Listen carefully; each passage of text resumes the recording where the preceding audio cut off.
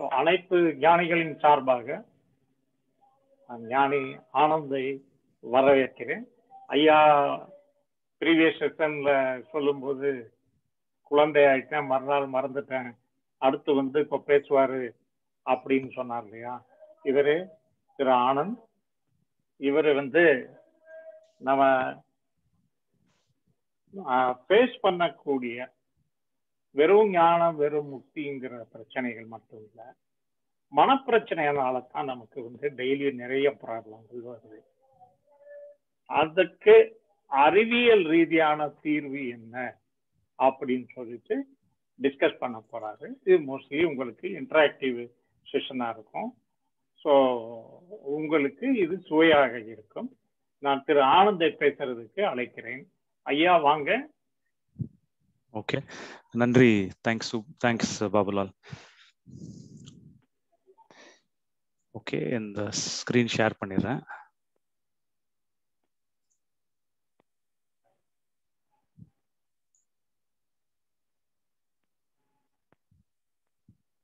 Screen கிளியரா தெரியுது இல்லையா சார் ஸ்க்ரீன் தெரியாது. தெரியுது ஓகே ஓகே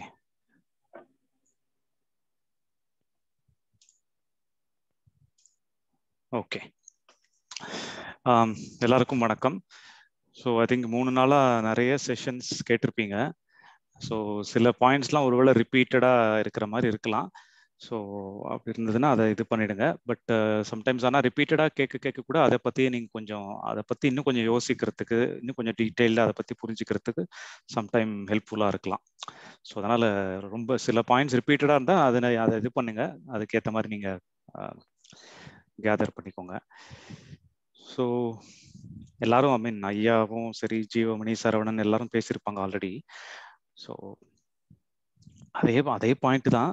சொல்றதுக்கு புதுசா எதுவும் சொல்றதுக்கு எதுவுமே கிடையாது. நீங்க பாத்தீங்கன்னா ஆக்சுவலா இந்த இந்த கான்செப்டே வந்து ஒரே வரியில ஒரே சென்டென்ஸ்ல முடிக்க வேண்டிய விஷயம் தான் ஆக்சுவலா ஸோ அதை புரிய வைக்கிறதுக்காக தான் இவ்வளோ கருத்துக்கள் இவ்வளோ உதாரணங்கள் இவ்வளோ கான்செப்ட்ஸ் இவ்வளோ புக்ஸ் எல்லாமே சொல்றது வந்து அந்த பழைய கருத்துக்கள்லாம் பழைய ஆல்ரெடி நம்ம வச்சிருக்கோம் இல்லையா? வேற இந்த ஞானம் பத்தியோ இல்ல இந்த ஆன்மீகத்தை பத்தியோ முக்தி பத்தியோ விடுதலை பத்தியோ ஆல்ரெடி நிறைய கருத்துக்கள் நமக்குள்ள சேகரிச்சு வச்சிருப்போம். ஸோ அதையெல்லாம் எடுத்து தள்ளி வச்சுட்டு இல்லை அதையெல்லாம் அழிக்கிற மாதிரி அதெல்லாம் தள்ளி இது இது பண்ணது தான் நீங்க புதுசா இதை இதை புரிஞ்சுக்க முடியும் இல்லையா? ஸோ அதுக்கு தான் ஆக்சுவலாக நிறைய எக்ஸ்பிளனேஷன் நிறைய உதாரணங்கள் இல்லை. ஏன் இப்படி இருக்கு? ஏன் இப்படி இல்லைன்னு சொல்றதெல்லாம் அதுக்கு தான் நிறைய தேவைப்படுது. மற்றபடி டைரக்டா எதுவுமே எந்த கருத்துமே இல்லை. கிளீனா இதை புரிஞ்சுக்கிறதுக்கு ரெடியா இருக்கும். அப்படி கம்ப்ளீட்லி ஓப்பன் மைண்டட் அப்படின்னு சொல்லுவோம் இல்லையா? அந்த மாதிரி ஓப்பன் மைண்டட் திறந்த மனதோட இருப்போம் இருக்கிறோம் அப்படின்னா ஈஸியா அதை ரொம்ப சிம்பிளா புரிஞ்சுக்கலாம். இன்ஃபேக்ட் நிறைய பேர் வந்து அந்த மாதிரி நிறைய சில பேர் நம்ம பார்ட்டிசிபென்ட்ஸ்லேயே நிறைய பேர் வந்து ஐ திங்க் நீங்கள் கேள்விப்பட்டிருப்பீங்க இதுக்கு முன்னாடி செஷனில் ஒரு சாதாரண ஒரு டீ கடை வச்சுட்டு இருக்கிறவர் இதை பற்றின இதுவே இல்லை. அவர் வந்து சிம்பிளாக அவருடைய பிரச்சனை என்ன? அவரோட டே டு டே அன்றாட வாழ்வில் வந்து அவரோட என்னென்ன மனப்பிரச்சனை வருது? எப்படி புரிஞ்சுக்கிட்டாரு? எப்படி சால்வ் பண்ணிட்டாரு ரொம்ப சிம்பிளாக இருக்குது அதுக்கு ஐயா கூட நிறைய எக்ஸாம்பிள் அதை பண்ணி சொல்லியிருப்பாரு. ஒருத்தர் வந்து ஆடியோ செட் பண்ணுறவர் ப்ரோக்ராம்ல அவர் ஜஸ்ட் வந்து வெறும் அந்த ஆடியோ மைக் செட் பண்ணுறதுக்காக வந்தவர் தான். பட் ஆனா அவருக்கு வந்து அவரோட பிரச்சனை என்ன அவர் என்ன ஃபேஸ் பண்றாரு அப்படின்னு பார்த்து அதுக்கு சொல்யூஷன் அதுக்கு தீர்வு கிடைச்சிருச்சு அவருக்கு. ஸோ அவ்வளோ சிம்பிளான விஷயம் தான் இது வந்து நம்மளா அதை காம்ப்ளிகேட் பண்ணி பெருசா ஆக்கிக்கிறதுனால தான் நம்மளுக்கு சரியா புரிய மாட்டேங்குது.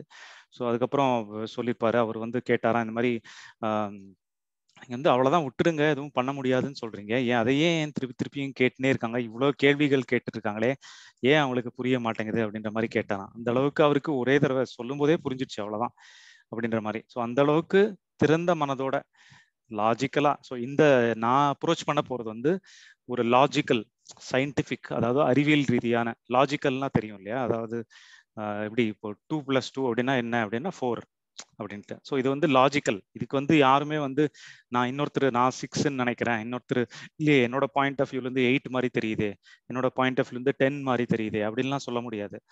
இது வந்து ரூல் மாதிரி இல்லையா? எல்லாருக்கும் ஒரே இதுதான். லாஜிக்ன்றது இப்படிதான் இருக்குன்ற மாதிரி. ஸோ ஸோ அந்த அப்ரோச்சில் நம்ம ஒரு அது ஒரு டிஃப்ரெண்ட் டைப் ஆஃப் அப்ரோச் அவ்வளோதான் இந்த சில பேர் வந்து ஒரு அறிவியல் ரீதியாக ஒரு லாஜிக்கலாக திங்க் பண்ணுறாங்க ஒரு ரேஷ்னலிஸ்ட் ரேஷ்னலாக திங்க் பண்ணுறவங்க பகுத்தறிவு அப்படின்னு சொல்லுவாங்க இல்லையா? ஸோ அந்த மாதிரி திங்க் பண்ணுறவங்களுக்கு அந்த மாதிரி ஒரு அப்ரோச்சுக்காக இதை கொண்டு வந்தோம்.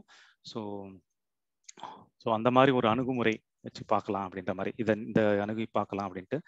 ஸோ அவர் சொன்ன மாதிரி இப்போ வந்து இதில் வந்து நம்ம ஞானம் முக்தி விடுதலை இல்லை மனோலயம் மனோநாசம் அது இது அந்த மாதிரி விஷயங்கள்லாம் நம்ம எதுவுமே டச் பண்ண போகிறதில்ல நம்ம பியூர்லி வந்து ஒரு சைக்கலாஜிக்கல் டே டு டே நம்மளுக்கு என்ன பிரச்சனை டெய்லி நம்ம என்ன பிரச்சனை ஃபேஸ் பண்ணுறோம் அதை எப்படி சால்வ் பண்ணுறோம் ஸோ எங்கே பிரச்சனை வருது? அதை எப்படி சால்வ் சொல்யூஷன் என்ன? அப்படின்ற மாதிரி ஒரு சிம்பிளாக இதுக்கு வந்து ஆன்மீகம் அறிவு அதெல்லாம் தேவையே கிடையாது. நீங்கள் ஆல்ரெடி ஆன்மீகத்தை படிச்சிருக்கணும். வேற மாஸ்டர்ஸோட இதெல்லாம் தெரிஞ்சிருக்கணும் அப்படின்றத பற்றி அப்படின்ற அவசியமே கிடையாது. ஸோ அந்த மாதிரி ஒரு அப்ரோச்சில் இதை கொடுக்கலாம் அப்படின்றது தான் எனக்கு ஐடியா ஸோ இதுக்கு வந்து ஒரே ஒரு இது வந்து நான் இப்போ சொன்ன மாதிரி ஒரு திறந்த மனதோட அணுகிறது அப்ரோச் பண்ணுறது அவ்வளோதான் ஏன்னா ஆல்ரெடி நம்மளுக்கு நிறைய கருத்துலாம் வச்சுருக்கோம் ஸோ அதை வந்து அதை வச்சு இதை கம்பேர் பண்ணி பார்த்து இது ஏன் அவர் இப்படி சொல்லியிருக்காரு? இங்க வேற மாதிரி இருக்கே. இவங்க இப்படி சொல்றாங்களே? இது ஏன் இப்படி சொல்றாங்க? அது ஏன் இப்படி சொல்றாங்கன்னு பார்த்துட்டா அதுலயே நம்ம வந்து இந்த என்ன விஷயம் சொல்றோமோ அதுல மனசு அதுல வந்து லைக்காம அது மீன் அதுல ஃபோக்கஸ் பண்ணாம நம்ம அந்த கம்பேரிசன்லயே ஃபோக்கஸ் பண்ணிட்டு இருப்போம் அதனால பாயிண்ட்டை மிஸ் பண்றதுக்கு வாய்ப்பு இருக்கு இல்லையா? அதனால அதை தள்ளி வச்சிருங்க. கொஞ்ச நேரத்துக்கு அதை தள்ளி வச்சிட்டீங்கன்னா ஈஸியா அதை புரிஞ்சிட்டதுக்கு அப்புறம் அப்புறம் நீங்க தாராளமா நீங்க அதை அதை போட்டு கம்பேர் பண்றதோ என்ன பண்றதோ அதுக்கப்புறம் பண்ணிக்கலாம். புரிஞ்சிட்டதுக்கு அப்புறம். ஸோ புரியுற வரைக்கும் கொஞ்சம் அதை தள்ளி வச்சிட்டிங்கன்னா ஈஸியாக இருக்கும். நம்ம என்ன சொல்ல வரோம் அப்படின்னு புரிஞ்சுட்டா போதும் ஃபர்ஸ்ட் அதுக்கப்புறம் இது எப்படின்னா நம்ம இது வந்து நம்ம நேச்சுரலாக நம்மளே எக்ஸ்பீரியன்ஸ் பண்ணி இல்லை நம்மளே ஒரு எக்ஸ்பெரிமெண்ட் பண்ணி டெஸ்ட் பண்ணி பார்க்குற மாதிரி ஒரு அப்ரோச் ஸோ இதுக்கு வந்து நம்ம வந்து ஒரு புக்கில் என்ன இது இருக்குது இவங்க என்ன சொல்லியிருக்காங்க? அவங்க என்ன அந்த மாஸ்டர் என்ன சொல்லியிருக்காரு? அப்படின்ற அப்படின்லாம் நம்ம போய் தேடி இது பண்ணி அலையணுன்ற அவசியமே கிடையாது. ஏன்னா நம்ம மனசுக்குள்ளே இருக்கிற விஷயம் இந்த இன்ஸ்ட்ருமெண்ட் வந்து நமக்குள்ளேயே இருக்குது ஸோ நம்மளே டெஸ்ட் பண்ணி பார்த்துக்கலாம். இதுக்கு என்ன வேற யாரையோ போய் கேட்கணுன்ற அவசியமே இல்லையே. இன்ஃபேக்ட் நான் சொல்லணுன்ற சொல்றதை கூட நீங்கள் நம்பணுன்ற அவசியமே கிடையாது. நம்மளே டெஸ்ட் பண்ணி பார்த்துட்டா தெரிஞ்சிட்டு போகுது. இப்போ ஒரு ஃபோனில் ஏதோ ஒரு ஃபோனில் ஒரு ஆப் ஒர்க் பண்ணுதா இல்லையான்னு சொல்கிறதுக்கு நான் மற்றவங்க கிட்டலாம் இதுக்கு போய் கேட்கணும். என்னோட ஃபோன்லேயே நான் இன்ஸ்டால் பண்ணி பார்த்துப்பேன். அந்த ஆப் எப்படி ஒர்க் பண்ணுதுன்னு நானே செக் பண்ணிக்கலாமே. இதுக்கு எதுக்கு நான் மற்றவங்க கிட்ட போய் அவங்ககிட்ட என்ன எப்படி பண்ணுது என்ன என்ன டீட்டெயில்ஸ்லாம் நான் கேட்க வேண்டிய அவசியமே இல்லை. ஸோ அந்த மாதிரி ஒரு அப்ரோச் இது. ஸோ இது வந்து நம்மளே டெஸ்ட் பண்ணி பார்த்துக்கலாம். நம்மளே செக் பண்ணி பார்த்துட்டு நம்மளே ஒரு முடிவுக்கு வரலாம். இதில் யார் சொல்கிறதும் கேட்கணுன்ற அவசியமே கிடையாது அப்படின்ற மாதிரி ஒரு லாஜிக்கல் அப்ரோச் ஸோ ஸோ என்னென்ன பிரச்சனைகள் நம்மளுக்கு?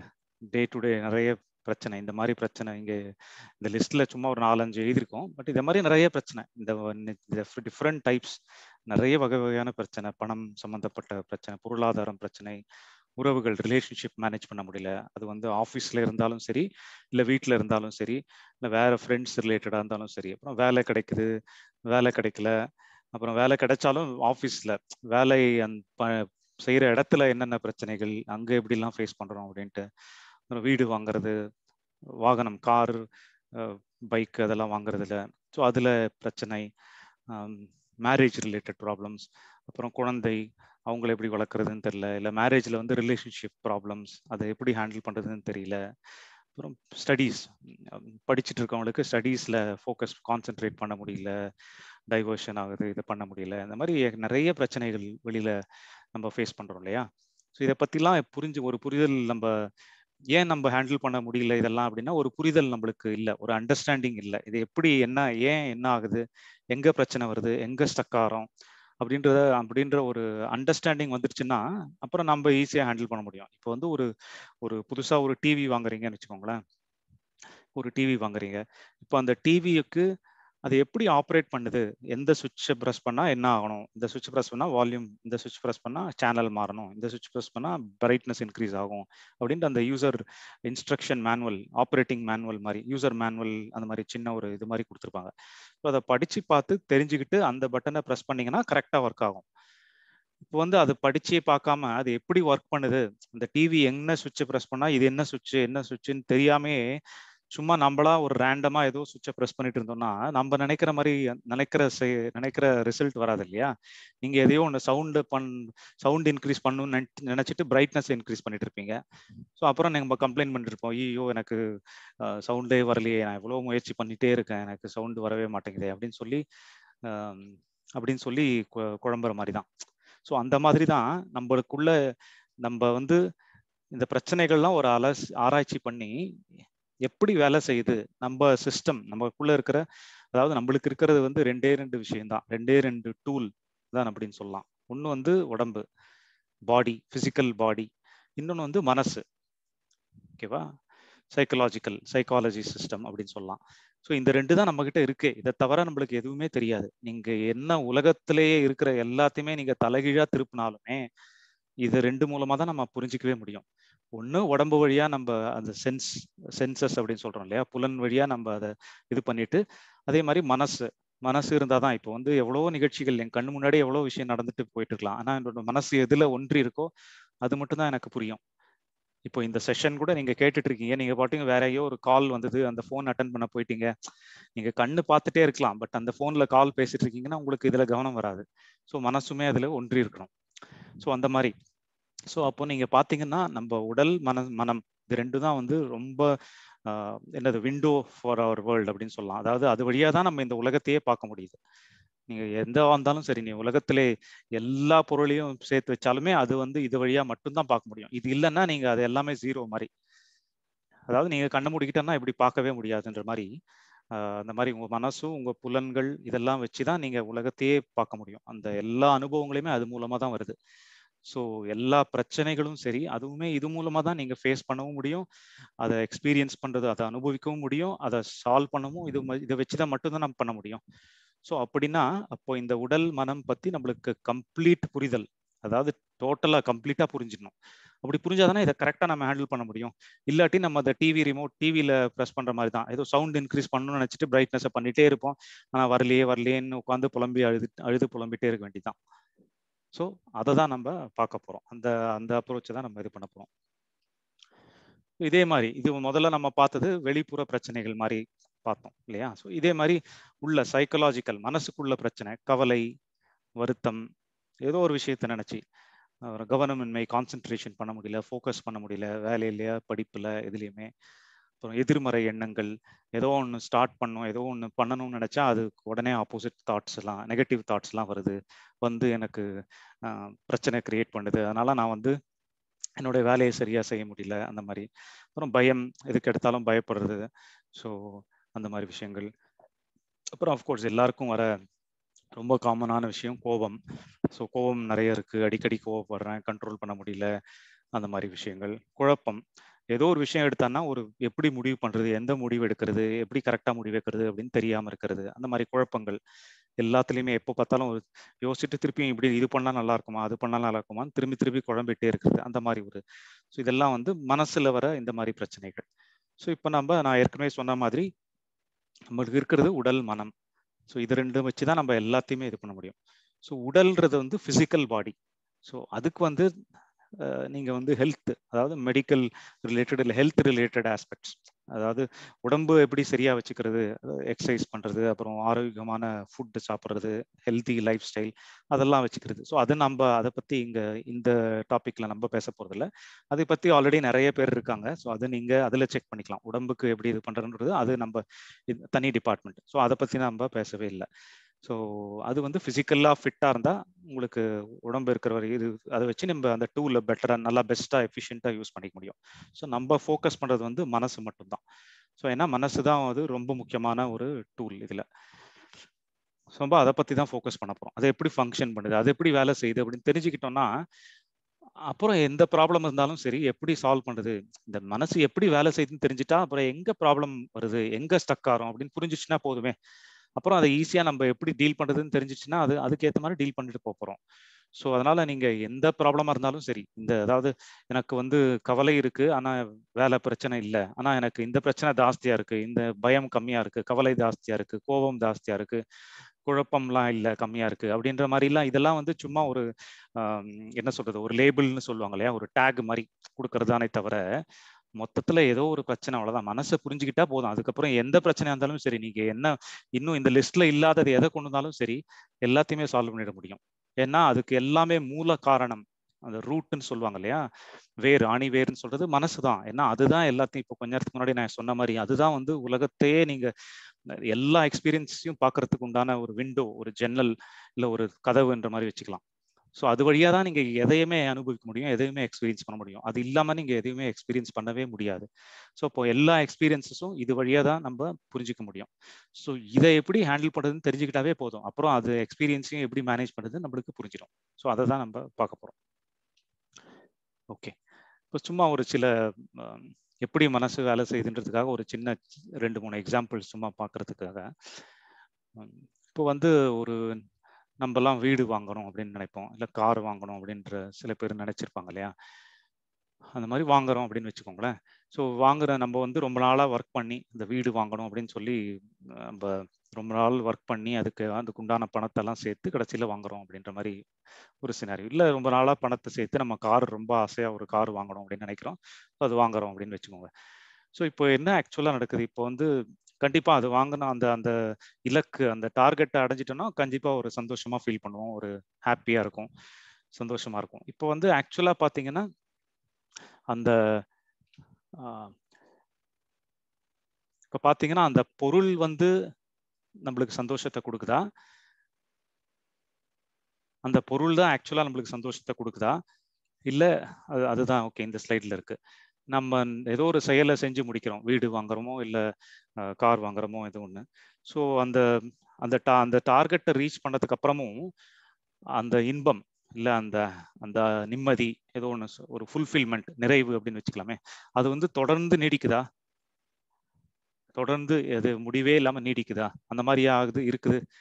இல்லையே. ஏன்னா அதுக்கு முடிஞ்சப்புறம் இப்போ ஒரு சின்ன எக்ஸாம்பிள் பார்த்தீங்கன்னா இப்போ ஒரு ஆஃபீஸ்லேயே ரொம்ப நாளாக வேலை வேலை கிடைக்கல அப்படின்னு சொல்லி ஒரு ஆஃபீஸில் ஜாயின் பண்ணுறோம் ஓகே ஜாயின் பண்ணும்போது ஒரு பத்தாயிரம் ரூபாய் சேலரி அப்படின்னு சொல்கிறாங்க சந்தோஷம் ரொம்ப சந்தோஷம் நம்மளுக்கு. ரொம்ப ஹாப்பியாக அப்படியே எல்லாரும் ஃப்ரெண்ட்ஸ் கிட்ட எல்லாம் ஷேர் பண்ணுறோம் எல்லாம் பார்ட்டி வைக்கிறோம் எல்லாம் பண்ணுறோம் ஸோ அப்புறம் ஒரு ஒரு வருஷம் ரெண்டு வருஷம் ஆகுது. பக்கத்தில் எல்லாரையும் கம்பேர் பண்ணுறோம் ப்ளஸ் நம்மளுக்கே அதுக்கப்புறம் அது வந்து ஒரு ஒரு பேஸ் மாதிரி செட் ஆயிடுச்சு. அப்புறம் பத்தாயிரம் ரூபாய் சேலரின்றது எனக்கு அது வந்து கிராண்ட் டேக்கன் ஃபார் கிராண்டட் அது வந்து ஆல்ரெடி அடைஞ்சாச்சு. ஸோ இப்போ அது வந்து எனக்கு நிறைவு கொடுக்கல. இப்போ வந்து அடுத்த ஸ்டெப் போகணும். பத்தாயிரம்லேருந்து அடுத்த டுவெண்ட்டி தௌசண்ட் எப்போ வாங்க போகிறேன் அப்படின்ற அடுத்த டார்கெட்டுக்கு போயிடுவோம். இல்லையா? ஸோ டுவெண்ட்டி தௌசண்ட் வாங்கிட்டாலும் அதுக்கப்புறமும் அதுவும் கொஞ்ச நாள் தான் நீடிக்குது. அந்த அந்த நிம்மதி இல்லை நிறைவு. கொஞ்சம் கொஞ்சம் நேரம் தான் நீடிக்குது. கொஞ்சம் நாள் தான் நீடிக்குது. அதுக்கப்புறம் அடுத்த டார்கெட் போகிறோம் அடுத்த டார்கெட் வேணும். அப்போ தான் எனக்கு நிறைவு அப்படின்ற மாதிரி. ஸோ நீங்கள் யோசிச்சு பார்த்தீங்கன்னா இப்படி தான் எல்லா விஷயமே இப்படி தான் இது வந்து ஒரு எக்ஸாம்பிளுக்கு இந்த பணம் அந்த மாதிரி விஷயத்துக்கு சொன்னேன். நீங்கள் எந்த விஷயம் எடுத்தாலுமே நம்ம வந்து அது செய்யற வரைக்கும் அதை அதை அடையிற வரைக்கும் ஏதோ ஊருக்கு போனோம் ஒரு வெக்கேஷன் அப்படின்னு கூட வச்சுக்கோங்களேன். அது அது போகிற வரைக்கும் அடையிற வரைக்கும் அந்த சந்தோஷம் நிம்மதி அப்படின்லாம் இருக்கும். அதுக்கப்புறம் அது நடந்து முடிஞ்சிச்சுன்னா அதுக்கப்புறம் அது தொடர்ந்து எல்லாம் நீடிக்காது. அதுக்கப்புறம் அங்கிருந்து ஒரு திருப்பியும் அங்கிருந்து ஒரு மாற்றத்தை வந்து நம்ம மனசு எதிர்பார்க்குது. இல்லையா? அப்படிதான் இருக்கு இல்லையா? நேச்சுரலாவே அப்படிதான் இருக்கு. ஸோ அப்படிதான் நம்ம ஃபேஸ் பண்றோம் டெய்லி. அதனால தான் நம்ம தொடர்ந்து ஓடிட்டே இருக்கோம் ஏதோ ஒரு விஷயத்துக்காக. ஏன்னா நிறைவே கிடைக்கல. ஒன்று கிடைக்குதுன்னா அடுத்த ஸ்டெப் அடுத்த கிடைக்குதுன்னா அடுத்த ஸ்டெப் இன்னொன்று முடிஞ்சோம்னா அடுத்த ஸ்டெப் இப்படியே தாண்டி தாண்டி போயிட்டே இருக்கணுன்ற மாதிரி தான் ஒரு எண்ட்லெஸ் நிறைவே இல்லாம ஒரு தன்மை. இப்படிதான் மனசு ஓடிட்டு இருக்கு இது ஜஸ்ட் நம்ம புரிஞ்சுக்கிறதுக்காக மனசோட எப்படி நேச்சர் எப்படி இருக்கு அப்படின்னு தெரிஞ்சுக்கிறதுக்காக ஒரு இது. ஸோ இது வந்து நான் நிறு தப்பு இல்லை இப்படி வாகக்கூடாது அப்படின்லாம் சொல்லலை. ஸோ பேசிக்கலா இது வந்து இப்போ நான் எப்படி அந்த டிவி இது பத்தி சொன்னேன் இல்லையா? இந்த இந்தந்த பட்டன் எப்படி ஒர்க் பண்ணுதுன்னு தெரிஞ்சுக்கிற மாதிரி இப்போ இது ஒரு மகரசில் இப்படியும் வேலை செய்யுது இப்படி இருக்கு அப்படின்னு தெரிஞ்சுக்கிறோம். அவ்வளோதான் ஸோ அது என்ன சொல்யூஷன் எப்படி இது பண்ணலான்றது நம்ம பின்னாடி நம்ம பேசுவோம் எப்படி? ஸோ அதே மாதிரி இப்போ அந்த பொருள் தான் கொடுக்குது. இப்போ அந்த வீடோ காரோ அதுதான் வந்து நம்மளுக்கு ஒரு நிம்மதியோ இன்பத்தையோ கொடுக்குது அப்படின்னா அந்த பொருள் எல்லாருக்கும் தான் இன்பத்தை கொடுக்கணும். ஆல்ரெடி வச்சிருக்கிறவங்க கொடுக்க அப்போ அந்த பொருளை வச்சு ரொம்ப சந்தோஷமா இருக்கணும்ல. எப்பவுமே சந்தோஷமா நிம்மதியா இருக்கணும்ல. அப்படியா இருக்கு? இல்லையே. இப்போ எனக்கே வந்து இப்போ நான் சொன்ன மாதிரி இப்போ பத்தாயிரம் ரூபாய் அந்த சம்பளம் வாங்கும்போது சந்தோஷமா இருந்தது. அதுக்கப்புறம் ஒரு ஒரு மூணு மாசம் நாலு மாசம் கழிச்சு அது எனக்கு பழகி போயிடுச்சு. அதுக்கப்புறம் அடுத்த டார்கெட்டுக்கு தான் எனக்கு திருப்பியும் அதை நோக்கி ஓட ஆரம்பிச்சிட்டேன் இல்லையா? ஸோ அப்போ அந்த பொருள் வந்து எனக்கு சந்தோஷத்தை கொடுக்கல. ஸோ எனக்குள்ள இருக்கிற அந்த எக்ஸ்பெக்டேஷன் அப்படின்னு சொல்லுவாங்க. என்ன எதிர்பார்ப்பு. ஸோ எனக்குள்ள இருக்கிற எதிர்பார்ப்பு பூர்த்தி ஆயிடுச்சுன்னா தான் சந்தோஷம் வருது. அமைதி வருது. இல்லை நிம்மதி வருது. கிடைக்குது. ஸோ அது முடிஞ்சதுக்கப்புறம் என்னென்னா அந்த எதிர்பார்ப்பு நம்மளுக்கு அதிகம் அடுத்த அடுத்த எதிர்பார்ப்பு வைக்கிறோம். அவ்வளோதான் பத்தாயிரம் ரூபாய் இப்போ முடிஞ்சிடுச்சு. ஸோ அடுத்த எதிர்பார்ப்பு டுவெண்ட்டி தௌசண்ட்க்கு வைக்கிறேன். ஸோ அதுக்கு அடுத்த எதிர்பார்ப்பு இன்னொன்று வீடு வாங்கணும் கார் வாங்கணும். அப்படி. ஸோ இப்படியே எதிர்பார்ப்பு போயிட்டே இருக்கு. அதனால எதிர்பார்ப்பு இருக்கிற வரைக்கும் அந்த எதிர்பார்ப்பு அந்த எதிர்பார்ப்பை நீங்க அடைஞ்சிட்டீங்க. நீங்க என்ன நினைச்சிங்களோ அதை செஞ்சிட்டீங்கன்னா ஒரு நிம்மதி ஒரு சந்தோஷம் வருது. அது நடக்கலை அப்படின்னா டிசப்பாயின்மெண்ட் என்ன சொல்றது? வருத்தம். அந்த மாதிரி. ஸோ இது வந்து அப்படி பார்த்தீங்கன்னா ஆக்சுவலாக பார்த்தீங்கன்னா இப்போ வந்து அந்த எதிர்பார்ப்பு தான் வந்து நீங்கள் இந்த விளைவை ஏற்படுத்துது. நம்ம என்ன எதிர்பார்க்குறோமோ அது நம்மளுக்கு நம்மளுக்கு ஃபேவரா நம்மளுக்கு ஃபேவரபிளா நம்ம என்ன நினைக்கிறோமோ அதுக்கேற்ற மாதிரி நடந்து முடிஞ்சதுன்னா நம்மளுக்கு ஒரு சந்தோஷம். அது நம்ம எதிர்பார்க்குற மாதிரி நடக்கலை அப்படின்னா வருத்தம்.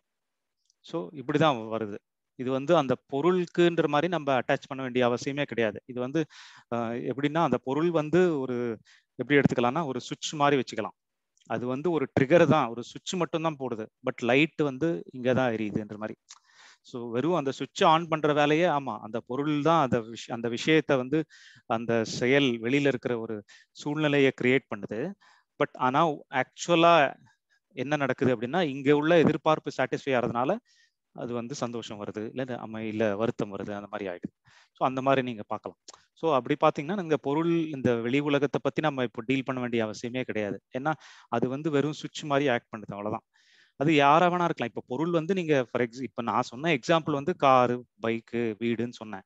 ஒவ்வொருத்தருக்கும் வேற வேற விஷயங்கள் இருக்கும். ஒருத்தருக்கு படிப்பு இருக்கும். நான் வந்து டாக்டர் படிச்சு முடிச்சுட்டேன்னா எனக்கு பெரிய லட்சியம் எனக்கு நிம்மதி அதுதான் அப்படின்னு நினைப்பாங்க. இன்னொருத்தர் ஒரு எம்பிஏ படிச்சு முடிச்சுட்டேன்னா பெரிய பெருசா அச்சீவ் பண்ணிட்டேன். இன்னொருத்தர் ஒரு ஆர்மியில ஜாயின் பண்ணிட்டேன்னா நான் வந்து வாழ்க்கையில லட்சியமே எனக்கு அதுதான் அப்படின்னு நினைப்பாங்க. இன்னொருத்தர் ஒரு பைலட்டா போகணும்னா இது இன்னொருத்தர் ஒரு சிங்கரா போகணும் ஒருத்தர் ஆக்டரா போகணும். ஸோ பொருள் வந்து இங்க முக்கியமே கிடையாது. நீங்க பாத்தீங்கன்னா நீங்க இது எல்லாத்தையும் பாத்தீங்கன்னா என்ன காமனா என்ன பொதுவா என்ன இருக்கு? ஒரு எதிர்பார்ப்பு அந்த எதிர்பார்ப்பு நிறைவேற்றா சந்தோஷம் நிறைவேறாட்டி வருத்தம். அவ்வளவுதான். சிம்பிளா நீங்க எடுத்துக்கலாம். அந்த பொருள் ஒவ்வொன்றா ஒவ்வொரு இது ஆயிரக்கணக்கு கோடிக்கணக்கில் இருக்கும். இல்லையா? ஒவ்வொருத்தரும் ஒவ்வொரு விஷயத்த எதிர்பார்ப்பு வச்சிருப்பாங்க. அந்த எதிர்பார்ப்புலாம் ஒவ்வொன்றா போய் நம்ம சரி பண்ணணும். இல்லை அதை புரிஞ்சுக்கணுன்ற அவசியமே கிடையாது இங்க. உங்களுக்கு புரியுதுன்னு நினைக்கிறேன். அந்த எதிர்பார்ப்பை ஒவ்வொன்றா போய் நம்ம ஒவ்வொருத்தர்கிட்டும் இருக்கிற பிரச்சனை. எனக்கு வந்து ஒரு பிரச்சனை இருக்கு. எனக்கு வந்து ஒரு ஆஃபீஸ் பிரச்சனை அப்படின்னு வச்சுக்கோங்க. இன்னொருத்தருக்கு வந்து பொருளாதார பிரச்சனை இன்னொருத்தருக்கு வந்து ரிலேஷன்ஷிப் உறவுகளில் பிரச்சனை இன்னொருத்தருக்கு வந்து மேரேஜ் ப்ராப்ளம் இன்னொருத்தருக்கு வந்து படிப்பு பிரச்சனை அப்படின்னா நம்ம ஒவ்வொரு நாள் போய் திருமணத்துக்கு பிரச்சனைக்கு இப்படி பண்ணுங்க இதை இப்படி டீல் பண்ணுங்க. அப்புறம் அவளுக்கு ஆஃபீஸ் பொருளாதார பிரச்சனையா அதை வந்து கொஞ்சம் ஆராய்ச்சி பண்ணி இதை இப்படி டீல் பண்ணுங்க இதை என்ன பண்ணுங்க. அப்புறம் திருமணம் பிரச்சனையா இதை வந்து இப்படி பார்க்கணுங்க இப்படி பண்ணணுங்க அப்படின்னு சொல்ல வேண்டிய அவசியமே கிடையாது. ஏன்னா இதுல என்ன பொதுவா என்ன இருக்குன்னு பாத்துட்டீங்கன்னாவே போதும். அதுவே உங்களுக்கு புரிதலை கொடுத்துரும். அதுக்கப்புறம் நீங்க அதை டீட்டெயில்டா அது நீங்க நீங்களே புரிஞ்சுக்கலாம். அதுக்கு வந்து ஒரு ஒரு ஞானி தான் அதை பத்தி பேசணும். ஒரு ஞானம் அடைஞ்சாதான் அதை பத்தி புரிஞ்சுக்கணும் அப்படின்ற அவசியமே கிடையாது. இல்லையா? எவ்வளவு பேர் இப்போ பிசினஸ்லயோ இல்ல ஒரு ஸ்போர்ட்ஸ்ல ஒரு படிப்புல எல்லாம் எவ்வளவு பேர் சக்சஸ்ஃபுல்லா இருக்காங்க. அவங்க எல்லாம் வந்து இந்த ஞானம் அடைஞ்சு பிரவாகத்தை புரிஞ்சிட்டதுக்கு அப்புறம் தான் போய் சக்சஸ்ஃபுல்லா இருக்காங்க அப்படின்லாம் எதுவும் கிடையாது இல்லையா? ஸோ அது வந்து அந்த துறைக்கு செயல் அந்த அந்த செயல் பண்ணுறதுக்கு உங்களுக்கு டேலண்ட் அதுக்கு அந்த துறைக்கு என்ன தேவையோ அந்த திறமை இருந்ததுன்னா போதும். அதுக்கப்புறம் யார் அந்த திறமை இருந்ததுன்னா நீங்கள் அது ஜெயிச்சு வரலாம். உங்களுடைய கெப்பாசிட்டி உங்களுடைய அறிவு அதை பொறுத்து. ஸோ அதனால எதுக்காக சொல்ல வரேன்னா நீங்கள் ஒவ்வொரு பிரச்சனையும் போய் ஆராய்ச்சி பண்ணி எல்லா பிரச்சனையும் போய் தெரிஞ்சுக்கிட்டு அப்படின்ற வேண்டிய அவசியமே கிடையாது. அது வந்து புறத்துல டீல் பண்றதுக்காக தெரிஞ்சுக்கலாமே ஒழிய பிரச்சனையோட ஆணி வேற இங்க தான் இருக்கு.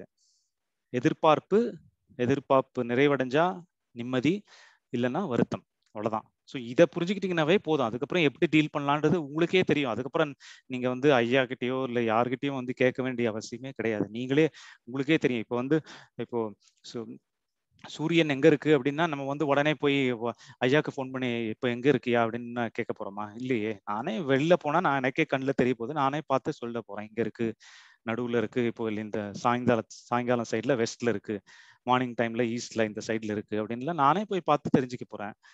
இதுக்கு எதுக்கு நம்ம வேற யார்கிட்டையும் கேட்கணும்? இல்லை உடனே புக்கை படித்து அதை மனப்பாடம் பண்ணி ஞாபகம் வச்சுக்கணும் அப்படின்ற எந்த அவசியமே கிடையாது. ஸோ அந்த மாதிரி ஒரு அப்ரோச்சுக்கு தான் நம்ம எடுத்துகிட்டு போகிறோம் இப்போ. ஸோ அந்த மாதிரி வந்து இப்போ வந்து மனசு எப்படி வேலை செய்யுது? எதிர்பார்ப்பு தான். எதிர்பார்ப்பு தான் நம்மளுக்கு இன்பத்தையும் தருது துன்பத்தையும் தருது அப்படின்னு புரிஞ்சுக்கிட்டோம். ஸோ இதை வந்து நம்மளே செக் பண்ணி பார்த்துக்கலாம். அவ்வளோதான் இதுக்கப்புறம் நம்ம புக்கு தேடணுன்ற அவசியமே கிடையாது. இப்படி பார்த்துக்கிட்டோம் அப்படின்னா அந்த வெளிப்புற பிரச்சனையை டீல் பண்ணுறதுக்கு மட்டும் அதுக்குண்டான அறிவு தேவை தான் அஃப்கோர்ஸ் இப்போ வந்து ஒரு எம்பிஏ படிக்கணும் ஒரு ஒரு டாக்டர் ஆகணும்னா அதுக்கு என்ன பண்ணணும்? அதுக்கு என்னென்ன திறமை வேணும்? எப்படி எப்படிலாம் ட்ரைனிங் பயிற்சி வேணும்? என்னென்னலாம் எப்படிலாம் கஷ்டப்படணும்? எப்படிலாம் உழைக்கணுன்றது அந்த துறைக்கு என்ன தேவையோ அந்த அறிவு நம்ம வளர்த்துக்கு தான் வேணும். பட் எந்த பிரச்சனையா இருந்தாலுமே எப்படி டீல் பண்ணும் அப்படின்னு புரிஞ்சிச்சுன்னா அதுக்கப்புறம் எந்த பிரச்சனையா இருந்தாலும் இதில் எல்லாத்தையுமே டீல் பண்ணிக்கலாங்க ஸோ அந்த மாதிரி இதில் தான் நம்ம பார்க்க போகிறோம் ஸோ இப்போ நான் சொன்ன மாதிரி தான் இது வந்து ஒரு எக்ஸாம்பிள் மாதிரி. இப்போ வந்து நம்ம மொபைலில் பார்த்தீங்கன்னா எவ்வளோ ஆப்ஸ் இருக்குது ஓலா ஊபர் ஸ்விக்கி ஜொமேட்டோ அப்படி இப்படிலாம் நிறைய ஆப்ஸ் இருக்குது ஸோ ஸோ ஒவ்வொன்றும் ஒவ்வொரு விஷயத்துக்காக யூஸ் பண்ணுறோம் ஓலா வந்து ஒரு வண்டி இது பண்ணணும்னா இதுக்காக. ஸ்விக்கினா ஏதோ ஒரு சாப்பாடு ஆர்டர் பண்ணால் அது வேற ஃபங்க்ஷன் ஓகே அதுக்கப்புறம் வாட்ஸ்அப்னா அது வந்து எல்லாருக்கிட்டையும் ஃப்ரெண்ட்ஸ் கிட்டலாம் சேட் பண்ணுறதுக்கு அது ஒரு வேற விஷயம். இதுக்கு இதுக்கும் சம்பந்தமே இல்லை. பார்த்தீங்கன்னா ஓலா வந்து ஓலாக்கோ இல்லை ஸ்விக்கிக்கும் இல்லை வாட்ஸ்அப் இது மூணுத்துக்கும் சம்பந்தம்லாம் கிடையாது. இது மூணு மூணு வேற வேற விஷயங்கள் வேற வேற ஒரு செயலுக்காக யூஸ் பண்ணுறது இல்லையா? ஆனால் பார்த்தீங்கன்னா ஃபோனுக்குள்ளே வந்து நீங்கள் அந்த சிஸ்டம் இருக்குல்ல இது வந்து ஒரு வெளிப்புற விஷயம் மாதிரி வச்சுக்கலாம் நீங்கள் இதை வந்து வெளிப்புறம் இதை ஒப்பிட்டு பார்க்கறதுக்காக ஜஸ்ட் ஒரு எக்ஸாம்பிளுக்காக சொல்கிறேன் ஃபோனில் இருக்கிற ஆப்ஸ்லாம் வந்து வெளிப்புற விஷயங்கள். அதாவது இப்போ சொன்னேன் இல்லையா படிப்பு வேலை திருமணம் உறவு இந்த மாதிரி இந்த மாதிரி விஷயங்கள். அதே மாதிரி ஜொமேட்டோ ஸ்விக்கி இந்த ஆப்ஸ்லாம் இப்போ பார்த்தீங்கன்னா ஃபோனுக்குள்ளே இருக்கிற சிஸ்டம்க்கு அதுக்கு அதெல்லாம் தெரியாது. அதுக்கு வந்து ஓ இவர் வந்து ஓலா தான் இது பண்ணுறாரு அப்படின்லாம் அதுக்கு தெரியாது. ஃபோனுக்குள்ளே இருக்கிற சிஸ்டம் அதாவது அந்த நீ கேள்விப்பட்டிருப்பீங்க கம்ப்யூட்டர் இது பண்ணவங்களாம் இப்போ ஃபோனும் வந்து ஒரு சின்ன கம்ப்யூட்டர் தான் ஆக்சுவலாக அதுக்குள்ளேயும் ஒரு சிபியூன்னு கேள்விப்பட்டிருப்பீங்க இல்லையா? ஒரு சிபியூ ப்ராசஸர் அதுக்குள்ளேயும் ஒரு நிறைய எலக்ட்ரானிக் ஐட்டம்ஸ்லாம் உள்ள இருக்கு. ஃபோனும் வந்து ஒரு கம்ப்யூட்டர் மாதிரி தான் ஆக்சுவலாக நீங்கள் ஏதோ ப்ரெஸ் பண்ணிங்கன்னா அதுக்கு உண்டான ஃபங்க்ஷன்ஸ் அதுக்கு உண்டான ஒரு ஆப்ரேஷன்ஸ் நடக்கணும் இல்லையா? அதுக்கு உண்டான இன்ஸ்ட்ரக்ஷன்ஸ் ப்ரோக்ராம் அதெல்லாம் உள்ளே தான் இருக்கும். ஸோ அந்த ப்ரோக்ராம்க்கு பார்த்தீங்கன்னா இந்த ஓலா ஊபர் ஆப்லாம் ஒன்றுமே தெரியாது. அதுக்கு தெரிஞ்சதெல்லாம் ஜீரோ ஒன் மட்டும்தான் தெரியும். உங்களுக்கு டிஜிட்டல் இந்த பைனரி அப்படின்னு சொல்லுவாங்க இல்லையா? அதுக்கு டிஜிட்டல் வேர்ல்டில் எந்த நீங்கள் என்ன பெரிய ஆப் எடுத்துட்டாலும் சரி இல்லை வெப்சைட் எடுத்துட்டாலும் சரி என்ன இன்டர்நெட்டில் நீங்கள் என்ன பண்ணாலுமே சரி நீங்கள் உலகத்தில் இருக்கிற ரொம்ப காம்ப்ளிகேட்டட் அப்ளிகேஷன் எதுவாக இருந்தாலுமே சரி ஃபைனலாக அதுக்குள்ளே இருக்கிற சிஸ்டம் வந்து புரிஞ்சிக்க வேண்டியது வந்து ஜீரோ ஒன்ல தான் மட்டும்தான் தெரிஞ்சுக்கும். இதெல்லாமே வெளியில இருக்கிற விஷயங்கள் தான். நம்ம பாக்குறதா இந்த வாட்ஸ்அப்பு ஓலா ஊபர் எல்லாம் நம்ம வெளியில பாக்குற விஷயங்களுக்கு தான் வெவ்வேறா தெரியுது நம்மளுக்கு. வேற வேறையா இருக்கு. உள்ள போனீங்கன்னா ஜீரோ ஒன் மட்டும்தான் அதுக்கு தெரியும். ஸோ அந்த இன்ஸ்ட்ரக்ஷனை கரெக்டாக ப்ரோக்ராம் பண்ணி வச்சிருப்பாங்க. இப்போ நீங்கள் கரெக்டாக வாட்ஸ்அப் ப்ரெஸ் பண்ணீங்கன்னா அது உள்ளே போய் அந்த வாட்ஸ்அப் உண்டான ப்ரோக்ராம் மட்டும் ஆன் பண்ணும் அப்படின்ற மாதிரி ஒரு இன்ஸ்ட்ரக்ஷன் ஒரு ப்ரோக்ராம் எழுதியிருப்பாங்க. ஸோ அது மாதிரி. ஸோ அதனால ஜீரோ ஒன் மட்டும்தான் தெரியும். இது எதுக்காக சொல்றேன்னா இப்போ நம்ம வந்து வெளியில இருக்கிற எவ்வளவோ விஷயங்களா இருக்கட்டும். படிப்பு திருமணம் பணம் சம்பாதிக்கிறது வேலை எதுவாக இருந்தாலுமே மனசு வந்து இப்படி மட்டும்தான் புரிஞ்சுக்கும். மனசு வச்சிருக்கிற எதிர்பார்ப்பை நீ சாட்டிஸ்ஃபை பண்றியா இல்லையா? அவ்வளவுதான். சாட்டிஸ்ஃபை பண்ணனா நிம்மதி சந்தோஷம். சாட்டிஸ்ஃபை பண்ணலையா? வருத்தம். அவ்வளவுதான். இது மட்டும்தான் காமிக்கும் அது. ஸோ அந்த எதிர்பார்ப்பு நிறைவடைஞ்சிச்சுன்னா சந்தோஷம் எதிர்பார்ப்பு நிறைவடையலைன்னா வருத்தம். அவ்வளோதான் ஸோ அந்த பாயிண்ட் எக்ஸாம்பிள் சொல்றதுக்காக சொன்னேன். ஸோ இப்படி மட்டும்தான் புரிஞ்சுக்கும். ஸோ நம்ம இந்த ஆயிரம் பிரச்சனையை டீல் பண்ண வேண்டிய அவசியமே கிடையாது. இதை மட்டும் புரிஞ்சுக்கிட்டாவே போதும். இந்த எதிர்பார்ப்பு என்ன பண்ணுது? என்ன மனசு எப்படி வேலை செய்யுது? அவ்வளோதான் சிம்பிளாக நம்ம முடிச்சுக்கலாம். ஏன்னா இதுதான் நம்ம பிரச்சனை இல்லையா? நம்ம சும்மா எல்லாத்தையும் உட்காந்து ஆராய்ச்சி பண்ணணுன்ற அவசியமே கிடையாது.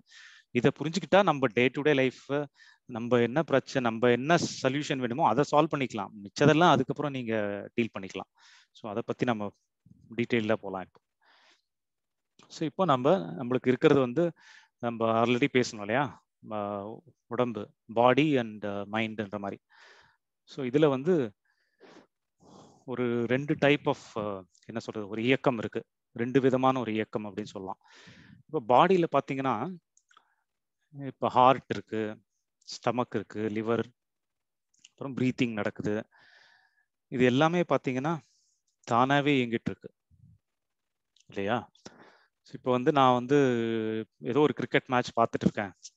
ரொம்ப உன்னிப்பாக கவனிச்சுட்டு இருக்கேன். நான் வந்து மறந்து போய் என்னையே மறந்து போய் கவனிச்சுட்டு இருக்கேன். அதனால நான் இன்னைக்கு வந்து கொஞ்சம் டைஜஸ்ட் பண்ணுறதுக்கு ஒரு ஒரு மணி நேரம் மறந்துட்டேன். இல்லை ஒரு மூச்சு வரத்துக்கு ஒரு மணி நேரம் மறந்துட்டேன். ஹார்ட்டு பீட் பண்ணுறதுக்கு ஒரு டென் மினிட்ஸ் மறந்துட்டேன் அப்படின்லாம் சொல்ல முடியாது. ஏன்னா அது நம்ம கையிலேயே கிடையாது. நான் ஒன்றும் அதுக்கு ஞாபகப்படுத்துறதும் கிடையாது. நான் நிறுத்தணும்னு சொன்னால் உடனே என்ன கேட்டது நிற்க போகிறதும் கிடையாது. இல்லையா? ஸோ அது வந்து தானாக இயங்கிட்டு இருக்கு. ஸோ இது எதையுமே நம்ம கண்ட்ரோல்லையே கிடையாது. ஸோ இது வந்து தானாக இயங்குற இயக்கம். ஸோ இப்படி ஒரு இப்படி ஒரு இயக்கம் இருக்கு. ஒன் செகண்ட்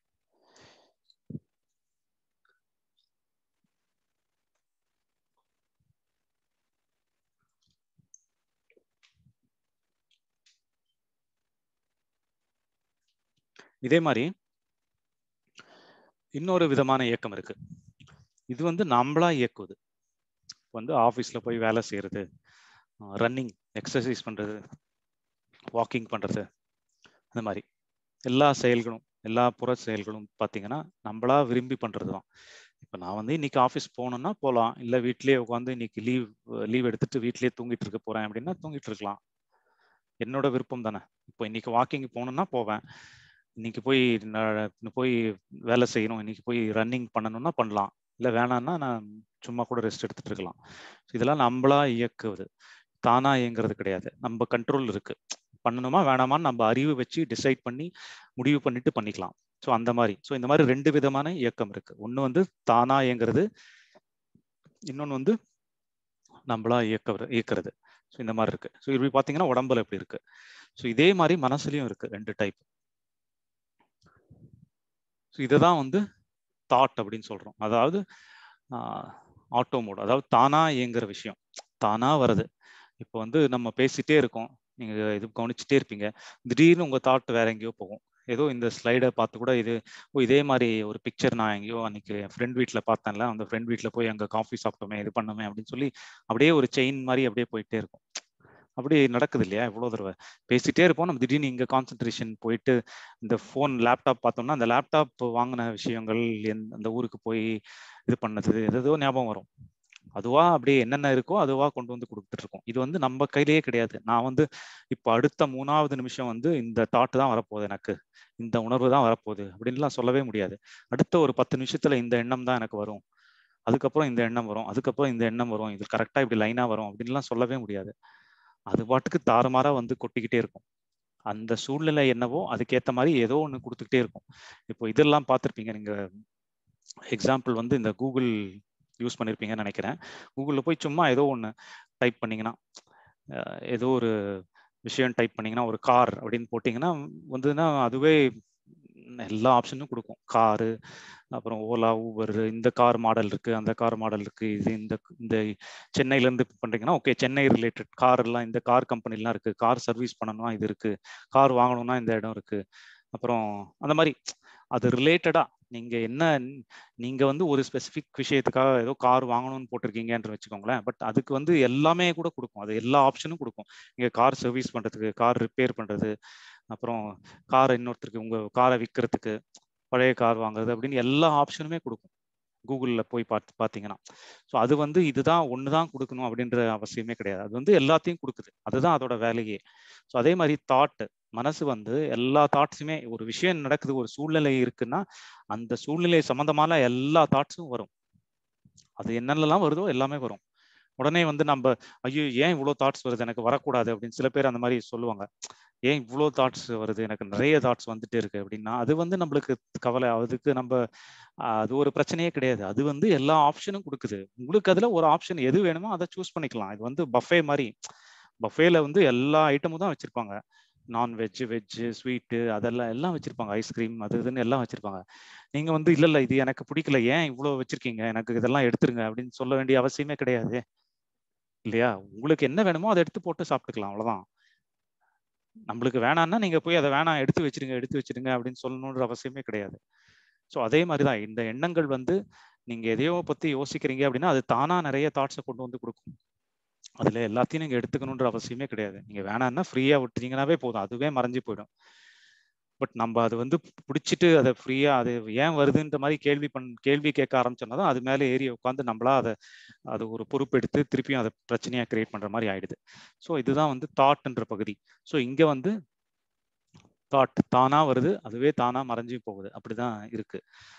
ஸோ தாட்ன்றது ஒரு தானா நடக்கிற விஷயம் அப்படின்னு பார்க்கலாம். ஸோ அப்படின்னு பார்த்துருக்கோம். இதே மாதிரி திங்கிங் அதாவது சிந்தித்தல். ஸோ ஏதோ ஒரு வேலை செய்கிறோம் அப்படின்னா எப்படி பண்ணுறது என்ன பண்ணுறது எவ்வளோ அதுக்கு என்ன டைமில் பண்ணணும்? எப்படி பண்ணணும்? அதோட உண்டான பிளானிங் திட்டமிடுதல் அப்படின்னு சொல்லுவாங்கல்ல அந்த மாதிரி. எங்கேயோ வெளியில் போகணும்னா எப்படி போகணும்? எப்படி எந்த எந்த வெஹிக்கிளில் போகணும்? எத்தனை மணிக்கு போகணும்? எப்படி திரும்பி வர போகிறோம் என்ன? அப்படின்லாம் யோசிச்சு தானே ஒரு செயலில் இறங்குவோம். இல்லை ஏதோ பிஸ்னஸ் பண்ணுறீங்கன்னா ஓகே எவ்வளோ இன்வெஸ்ட் பண்ணணும் இதுக்கு எவ்வளோ நாள் ஆகும்? எவ்வளோ நாள் கழிச்சு ரிட்டர்ன் வரும்? அது வரைக்கும் என்ன பண்ணும்? அதுக்கு எக்ஸ்பென்சஸ் எப்படி மேனேஜ் பண்ணும்? எவ்வளோ ஆள் வேலைக்கு சேர்க்கணும்? இந்த மாதிரி அதை பற்றிலாம் ஒரு டீட்டெயில்டாக யோசிச்சு தானே செயல்படுவோம். ஸோ இது வந்து அதுதான் திங்கிங் அது வந்து நம்மளா யோசிச்சு பண்ணுறது தான் நம்மளா மேனுவலா நம்மளா விருப்பப்பட்டு சிந் சிந்திக்கிறது தான் அதை தான் சிந்தித்தல் அப்படின்னு சொல்றோம். இதுதான் வந்து மேனுவலா பண்றது. ஸோ ஸோ உடம்புல எப்படி தானாக இயங்குறது ஒரு இயக்கம் அப்புறம் நம்ம நம்மளா இயக்குறது அந்த மாதிரி ரெண்டு பகுதி ரெண்டு வகையா இருந்ததோ அதே மாதிரி மனசுலயே வந்து தானா நடக்கிற விஷயம் தாட் சிந்தனை. நம்மளா பண்ற விஷயம் திங்கிங் சிந்தித்தல். ஸோ தானா நடக்கிற விஷயம் வந்து தானா வந்து அப்படி இருக்கு. ஸோ சிந்தித்தல்ன்றது நம்ம ஏதோ ஒரு செயல் பண்ணணும் அப்படின்னா மட்டும்தான் சிந்திக்கிறோம் அப்படின்ற மாதிரி. ஸோ அந்த இதுல இருக்கு. ஸோ இப்போ நம்ம ஸோ இப்படிலாம் இருக்கு மனசுல ஒரு பகுதி அப்படின்னு வச்சுக்கலாம். ஸோ இப்போ நம்ம மனசை பத்தி இன்னும் கொஞ்சம் ஒரு ஸ்டெப் இன்னும் கொஞ்சம் டீட்டெயில்டா போய் ஒரு ஆராய்ச்சி மாதிரி ஒரு சும்மா ஒரு நாலஞ்சு கேள்வி மாதிரி இருக்கு. அதை வச்சு ஒரு ஆராய்ச்சி பண்ணுவோம். ஒரு கேள்வி கேட்டு நம்ம என்னன்னு தெரிஞ்சுப்போம். இப்போ வந்து கேள்வின்னோம்னா இது வந்து உடனே வந்து புக்கில் என்ன இது இருக்கு? இல்லை ஐயா என்ன சொல்லியிருக்காரு? அப்படின்னு சொல்லி சும்மா அதை அப்படியே அப்படியே அடிச்சு அதை ஒப்பிக்கிறது வந்து எந்த பிரயோஜனமும் கிடையாது. இப்போ கொஞ்ச நேரத்துக்கு முன்னாடி கூட ஐயா நிறைய கொஸ்டின்ஸ்லாம் கேட்டிருந்தார் இல்லையா போன செஷனில் அதில் வந்து நீங்கள் சரியாக ஆன்சர் சொல்கிறீங்க இல்லை தப்பாக ஆன்சர் சொல்கிறீங்கன்றது கூட முக்கியம் கிடையாது ஆக்சுவலாக பட் அந்த ஆன்சர் உங்களுக்கு ஜென்யூனாக நீங்கள் என்ன நீங்கள் பார்த்து அதை நீங்க உங்க அனுபவத்துல என்ன ஆன்சர் வருது? அதுதான் ரொம்ப முக்கியம் ஆக்சுவலா நீங்க தப்பா சொல்லியிருந்தா கூட அது தப்புன்னு தெரிஞ்சுக்கிறதுக்கு உங்க அனுபவம் உங்க அனுபவத்துல நீங்க உங்க அனுபவத்துல இருந்து வந்து ஆன்சரா இருந்ததுன்னா அட்லீஸ்ட் நீங்க தப்பா இருந்தா கூட அதை தெரி திருத்திக்கலாம் அப்போ. அப்பதான் அதுக்கு வாய்ப்பு இருக்கு. அதை விட்டுட்டு நீங்க அதை விட்டுட்டு சப்போஸ் புக்ல என்ன இது இருக்கு? இல்ல ஐயா அப்பவே சொன்னாரே அதை ஞாபகம் வச்சுட்டு அந்த ஆன்சரை சொல்றது வந்து கரெக்டா ஆன்சர் பண்றது வந்து உங்களுக்கு அது வந்து ஒரு இதுவா இருக்காது பெனிஃபிஷியலா இருக்காது இல்லையா?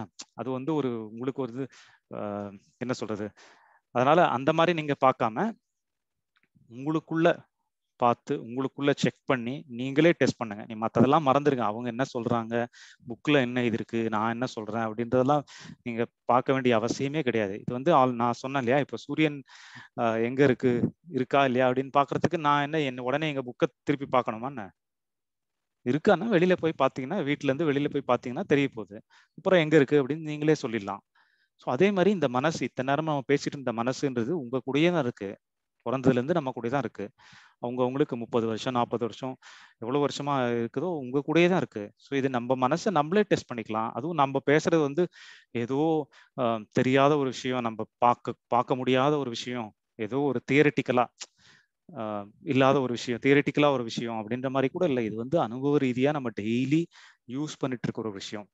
நான் வந்து ஏதோ ஒரு ராக்கெட் சயின்ஸ் மாதிரி ஏதோ புரியாத ஒரு விஷயத்த பத்தியும் பேசல. நம்ம பாக்குறது டே டு டே விஷயங்கள் மட்டும்தான். நம்ம பாத்தீங்கன்னா பிரச்சனை எல்லாம் என்ன பிரச்சனை பத்தி பேசணும்? ஆஃபீஸ் பிரச்சனை வீட்டுல பிரச்சனை ரிலேஷன்ஷிப் பிரச்சனை பண பிரச்சனை படிப்பு நம்ம எல்லாரும் ஃபேஸ் பண்ற பிரச்சனை தானே? ஸோ இது என்ன நடக்குதுன்னு பார்த்துட்டா நம்ம புரிஞ்சிட போகுது அவ்வளவுதான். ஸோ அதனால என்ன சொல்றேன்னா இந்த கேள்விகளுக்கு வந்து உங்களுக்கு ஆன்சர் தெரிஞ்சிருந்தாலும் சரி இல்லை இதுக்கு முன்னாடியே நீங்க படிச்சிருந்தாலும் சரி ஏதாவது புக்ல படிச்சிருக்கலாம். பட் நீங்களே ஒரு ஆனஸ்ட் சின்சியர் அட்டம் நிஜமாவே என்ன நினைக்கிறேன்? நிஜமாவே எனக்குள்ள இப்படிதான் நினைக்கிறேனா? இல்லையா? அப்படின்றது இல்லை. எனக்கு ஆன்சர் பண்ணுன்றது கூட அவசியம் இல்லை. அதை விட ரொம்ப முக்கியம். உங்களுக்கு நீங்க அதை ஆன்சர் கரெக்டா பண்ணிக்கிட்டீங்கன்னா தான் தப்பா இருந்தாலும் அதை திருத்திக்கிறதுக்கு என்ன அப்படின்னு அடுத்த ஸ்டெப் நீங்க எடுப்பீங்க. இல்ல அது வந்து சும்மா ஒரு ஒப்பிக்கிற மாதிரி அதை ஆன்சரை சொல்லிட்டீங்கன்னா ஓகே கரெக்டா தான் இருக்கு அப்படின்னு சொல்லிட்டு நீங்க அதை ஸ்கிப் பண்ணி அதை ஸ்கிப் பண்ணி போயிடுற மாதிரி ஆயிடும். அதுக்கப்புறம் அதை திருத்துக்கு திருத்திக்கிற வாய்ப்பும் இருக்காது. அதனால வந்து நான் என்ன ரிக்வெஸ்ட் பண்றேன்னா நீங்க அதை நீங்க உங்களுக்குள்ள யோசிச்சிங்க. நீங்க சின்சியரா ஆனஸ்டா தப்பா இருந்தாலும் பரவாயில்ல. அப்பதான் நம்ம தெரிஞ்சு அடுத்த ஸ்டெப்புக்கு போக முடியும். ஸோ அந்த மாதிரி ஒரு யோசிச்சு நீங்க இது பண்ணீங்கன்னா யூஸ்ஃபுல்லா இருக்கும். ஸோ நம்ம அந்த கொஸ்டின்ஸ்குள்ள போகலாம் இப்போ. ஸோ இதுதான் மனதை பற்றி ஒரு ஆராய்ச்சி பண்றோம். அதாவது ஆராய்ச்சின்னா இப்போ மெயினா இதுல என்ன தெரிஞ்சுக்க வேண்டி இருக்குன்னா இப்போ ஒரு ஆராய்ச்சி ஒரு சயின்ஸ் ஒரு லேப் நம்ம சின்ன வயசுல படிச்சிருக்கும் போது நிறைய இந்த சயின்ஸ் லேப்லாம் அட்டன் பண்ணியிருப்போம். கெமிஸ்ட்ரி லேப் ஃபிசிக்ஸ் லேப் அந்த மாதிரிலாம். ஸோ அங்கே வந்து நம்ம என்ன பண்ணுவோம் அப்படின்னு பார்த்தீங்கன்னா ஏதோ ஒரு ஆராய்ச்சி பண்ணுறோம்னா நம்ம முதலே முதலே வந்து ஒரு முடிவு எடுத்து வச்சுக்க மாட்டோம்.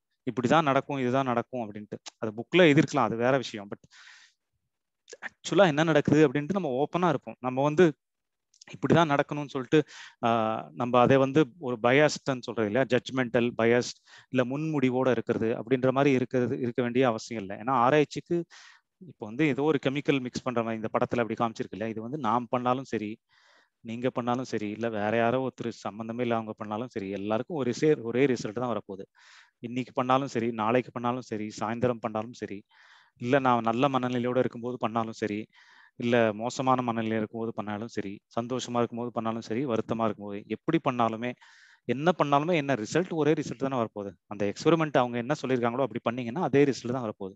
இதுக்கு வந்து நான் முன்முடிவோட இருந்து இதெல்லாம் பண்ணணுன்ற அவசியமே கிடையாது. ஸோ ஓப்பன் திறந்த மனசோட இருந்தால் ஆராய்ச்சி பண்ணுவோம்ல. என்ன முடிவு வருதுன்றது நம்மளுக்கு ஒன்றும் ஏன்னா அதில் வந்து என்னன்னா நம்ம அதில் பாதிக்கப்படலை. இந்த ஆராய்ச்சின்றது அந்த என்ன பொருளில் ஆராய்ச்சி பண்ணுறோம் ஸோ அங்கே என்ன ரிசல்ட் வருதுன்றது நம்மளுக்கு எந்த விதமான பாதிப்பும் இல்லைன்றதுனால நம்ம அதை ஈஸியாக இந்த விஷயத்தில் ஒரு ஒரு சயின்ஸ் எக்ஸ்பெரிமெண்ட்டை ஈஸியாக நம்ம டீல் பண்ணிடுறோம். ஏன்னா அதில் வந்து எனக்கு எந்த பாதிப்பும் கிடையாது. இப்போ வந்து இந்த ஏதோ ஒரு ஆராய்ச்சி பண்ணி அதோட ரிசல்ட் வந்து என்ன பாதிக்கிறது கிடையாது. என்ன பர்சனலாக பாதிக்கிறது கிடையாது. அது அந்த ஆராய்ச்சிக்கு என்ன ரிசல்ட்டோ அது வருதா வரலையான்ட்டு தான் நம்ம பார்க்குறோம். ஸோ அந்த மாதிரி. அதாவது ஒரு மூணாவது மனுஷன் பார்க்குற மாதிரி பார்க்குறோம். பட் வேற மனசை பொறுத்த வரைக்கும் ஏன்னா நம்மளே நம்மள ஆராய்ச்சி பண்ற மாதிரி. ஸோ அதுல அதுதான் கொஞ்சம் அதனால தான் வந்து அது கொஞ்சம் கஷ்டமா இருக்கு. நம்ம ஆராய்ச்சி பண்ணி பார்க்கும்போது நம்மளுடைய பயஸ் நம்ம ஆல்ரெடி எடுத்திருக்கிற முன்முடிவு எல்லாம் வந்து நம்மளுக்கு வந்து நம்ம என்ன நினைச்சிருக்கோமோ அதே கரெக்டுன்னு சொல்றதுக்கு ப்ரூவ் பண்ற மாதிரியே திருப்பியும் அது ரீசன்ஸ் கொடுத்துட்டே இருக்கும். ஏன்னா நம்ம வந்து தப்பு அப்படின்னு ஒத்துக்கிறதுக்கு நம்மளுக்கு வந்து என்ன சொல்றது? அந்த திறந்த மனது அதனால தான் அந்த திறந்த மனதோட பண்ணணும் அப்படின்ற மாதிரி அதை இன்சிஸ்ட் பண்றேன். ஏன்னா நம்ம வந்து ஏதோ ஒரு தவறுனா தவறுன்னு தைரியமா ஒத்துக்கிறது ஒத்துக்கிட்டீங்கன்னா தான் அடுத்த ஸ்டெப் நம்ம கரெக்ட் பண்ணிக்கிறதுக்கு முடியும். இல்ல இல்ல நான் ரைட்டு தான். நான் அதெல்லாம் விட்டு கொடுக்க மாட்டேன். நான் இறங்கி வர மாட்டேன் அப்படின்ற மாதிரி இருந்ததுன்னா அப்புறம் நம்ம பொய்யாவே ஆராய்ச்சி பண்ணிட்டு இருப்போம். சும்மா நம்ம அந்த ரிசல்ட்டே வராமையே வந்துடுச்சு. கரெக்டான ரிசல்ட் தான் எனக்கும் வந்துடுச்சு. அதுக்கு ஒரு ஒரு ஜோக்ல கூட எனக்கு ஞாபகம் வந்தது. கடவுள் கடவுளை பார்க்கலாம் அப்படின்னு சொல்லிட்டு ஏதோ ஒரு வடிவேல் ஜோக் நினைக்கிறேன். கடவுள் பார்க்கலாம் அப்படின்னு சொல்லிட்டு எல்லார்ட்டையும் பணத்தை கலெக்ட் பண்ணிட்டு அப்புறம் இது பண்ணிட்டு இருப்பாங்க அப்புறம் வந்து கடவுள் வந்துட்டாரு அப்படின்னு சொல்லி அப்புறம் வந்து அவங்க ஏதோ ஒரு ரீசன் சொல்லி நீங்களும் நம்புங்க அப்படின்னு சொல்லி சும்மாவே பொய்யா எல்லாரும் நம்ப ஆரம்பிச்சிட்டு மாதிரி அந்த மாதிரி இது. ஸோ அந்த மாதிரி நீங்க பொய்யா நம்பணுன்ற அவசியமே கிடையாது. இது வந்து உண்மையா நீங்க ஆனஸ்டா பாத்தீங்கன்னா உங்களுக்கு ஆன்சர் கிடைக்கும். அந்த மாதிரி பார்க்கலாம் ஓகே இப்போ முதல் கேள்வி வந்து இதுக்கு நீங்க சேட்லயும் பதில் சொல்லலாம். இல்ல நீங்க யாராவது பேசணும் அப்படின்னாலும் பேசலாம். எப்படி வேணா டைமை பொறுத்து நம்ம அதுக்கேற்ற மாதிரி இது பண்ணிக்கலாம். ஸோ ஐ திங்க் ஒரு நாலு அஞ்சு கொஸ்டின் தான் இருக்குது அதனால் ஷார்ட்டாக போயிடலாம். பிரச்சனை இல்லை. ஒரு குறிப்பிட்ட எண்ணம். இந்த எண்ணம் தான் வரணும். இந்த சுச்சுவேஷனில் இந்த எண்ணம் வரணும். அப்படின்ட்டு நம்மளா அதை உருவாக்க முடியுமா? அப்படின்ட்டு. எனக்கு இது வந்து ஏற்கனவே சொன்ன மாதிரி இதுக்கு ஆன்சர் உங்களுக்கு தெரிஞ்சிருக்கலாம். நீங்கள் உடனே எடுத்து ரிப்பீட் பண்ணுன்ற அவசியம் இல்லை. இதை வந்து நீங்கள் யோசிக்கிறதுக்காக வந்து நம்ம ஒரு ஆராய்ச்சி பண்ணி சிந்திக்கிறதுக்காக அதுதான் முக்கியம் இங்கே. உங்களுக்கு தப்பான தெரிஞ்சதுனாலும் அதுவே நம்ம அதையும் வந்து நீங்கள் டிஸ்கஸ் பண்ணி தெரிஞ்சுக்கணும். அதுக்கு அடுத்த ஸ்டே அதை எப்படி திருத்திக்கணும்? இல்லை அதை எப்படி ஏன் உங்களுக்கு வேற மாதிரி ஒரு சப்போஸ் எங்கேயோ இடிக்குது உங்க லாஜிக்கு சரியா வரல அப்படின்னு தோணுச்சுன்னா அப்போ ஏன் வரல அப்படின்றது அது நீங்க செக் பண்ணணும். இது நம்ம டீட்டெயிலாக பார்க்கலாம். இங்கே ஒருவேளை இங்கே டைம் இருக்குமான்னு தெரியல பட் அட்லீஸ்ட் அட்லீஸ்ட் அதை நீங்கள் ஏதோ இந்த இந்த பாயிண்ட்ல எனக்கு ஒரு முரண்பாடு இருக்கு அப்படின்னு தெரிஞ்சுக்கிட்டீங்கன்னா போதும். அட்லீஸ்ட் அந்த முரண்பாடை எப்படி எப்படி சரி செய்யறதுன்றது நம்ம அப்புறமா கூட இது பண்ணிக்கலாம். ஸோ அந்த மாதிரி ஏதாவது ஆன்சர்ஸ் இருந்ததுன்னா நீங்கள் இது பண்ணலாம். Think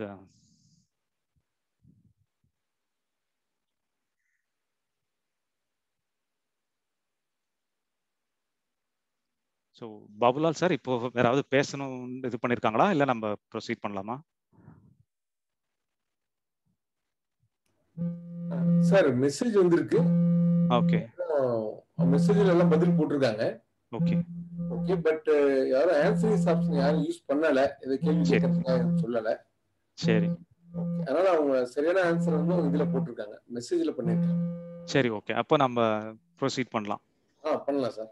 Okay thank you sir so இது வந்து பார்த்தீங்கன்னா ஒரு குறிப்பிட்ட எண்ணத்தை நம்ம உருவாக்க முடியுமா அப்படின்னு பார்த்தீங்கன்னா இப்போ ஆல்ரெடி கொஞ்ச நேரத்துக்கு முன்னாடி பேசிட்டு இருக்கும்போது பார்த்தோம். அதாவது இங்க இப்போ இருந்து அஞ்சாவது நிமிஷம் இந்த எண்ணம் வரணும். பத்தாவது நிமிஷம் இந்த எண்ணம் வரும். அதுக்கப்புறம் நெக்ஸ்ட் இது வரணும் இது வரணும் அப்படின்னு லைனா இது வரணும்.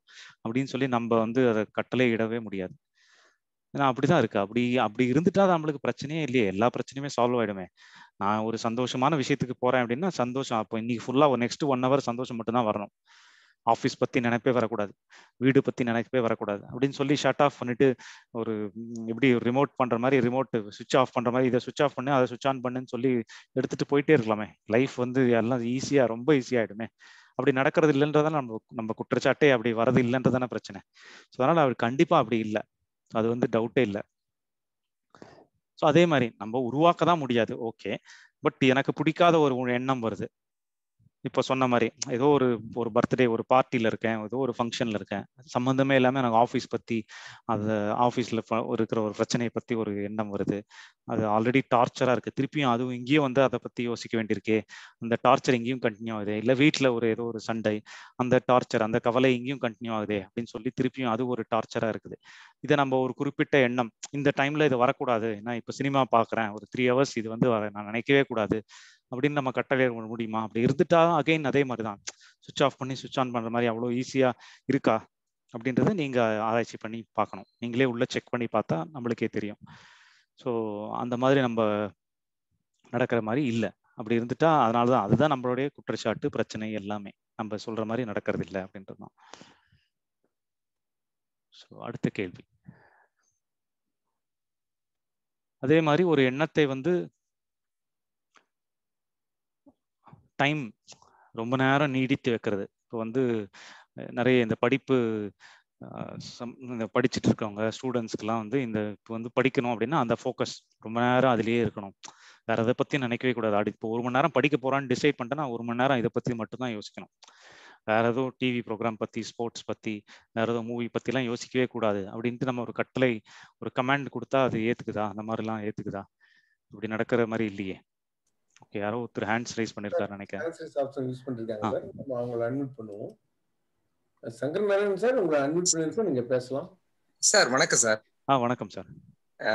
சூப்பரா ப்ரெசன்டேஷன் சூப்பரா இருக்கு சார். நல்லா இருக்கு சார் ரொம்ப சூப்பரா இருக்கு சார். சார் இப்ப இந்த தேர்ட் கொஸ்டின் இருக்குல்ல சார் ஒரு குறிப்பிட்ட எண்ணத்தை நம் மனதில் அதிக நேரம் நீடித்து வைத்துக் கொள்ள முடியுமானா அது முடியும்னு தோணுது சார். என்ன காரணம்னா சில நேரங்கள்ல கொஞ்சம் பாசிபிலிட்டி இருக்குன்ற மாதிரி தோணுது சார். என்னன்னா செல்ஃப் இந்த செல்ஃப் அஃபிமேஷன் சொல்றாங்க இல்லைங்க சார் இந்த சுய பிரகடனங்கள் சுய கட்டளைகள் இது மாதிரிலாம் இருக்கு இல்லைங்களா?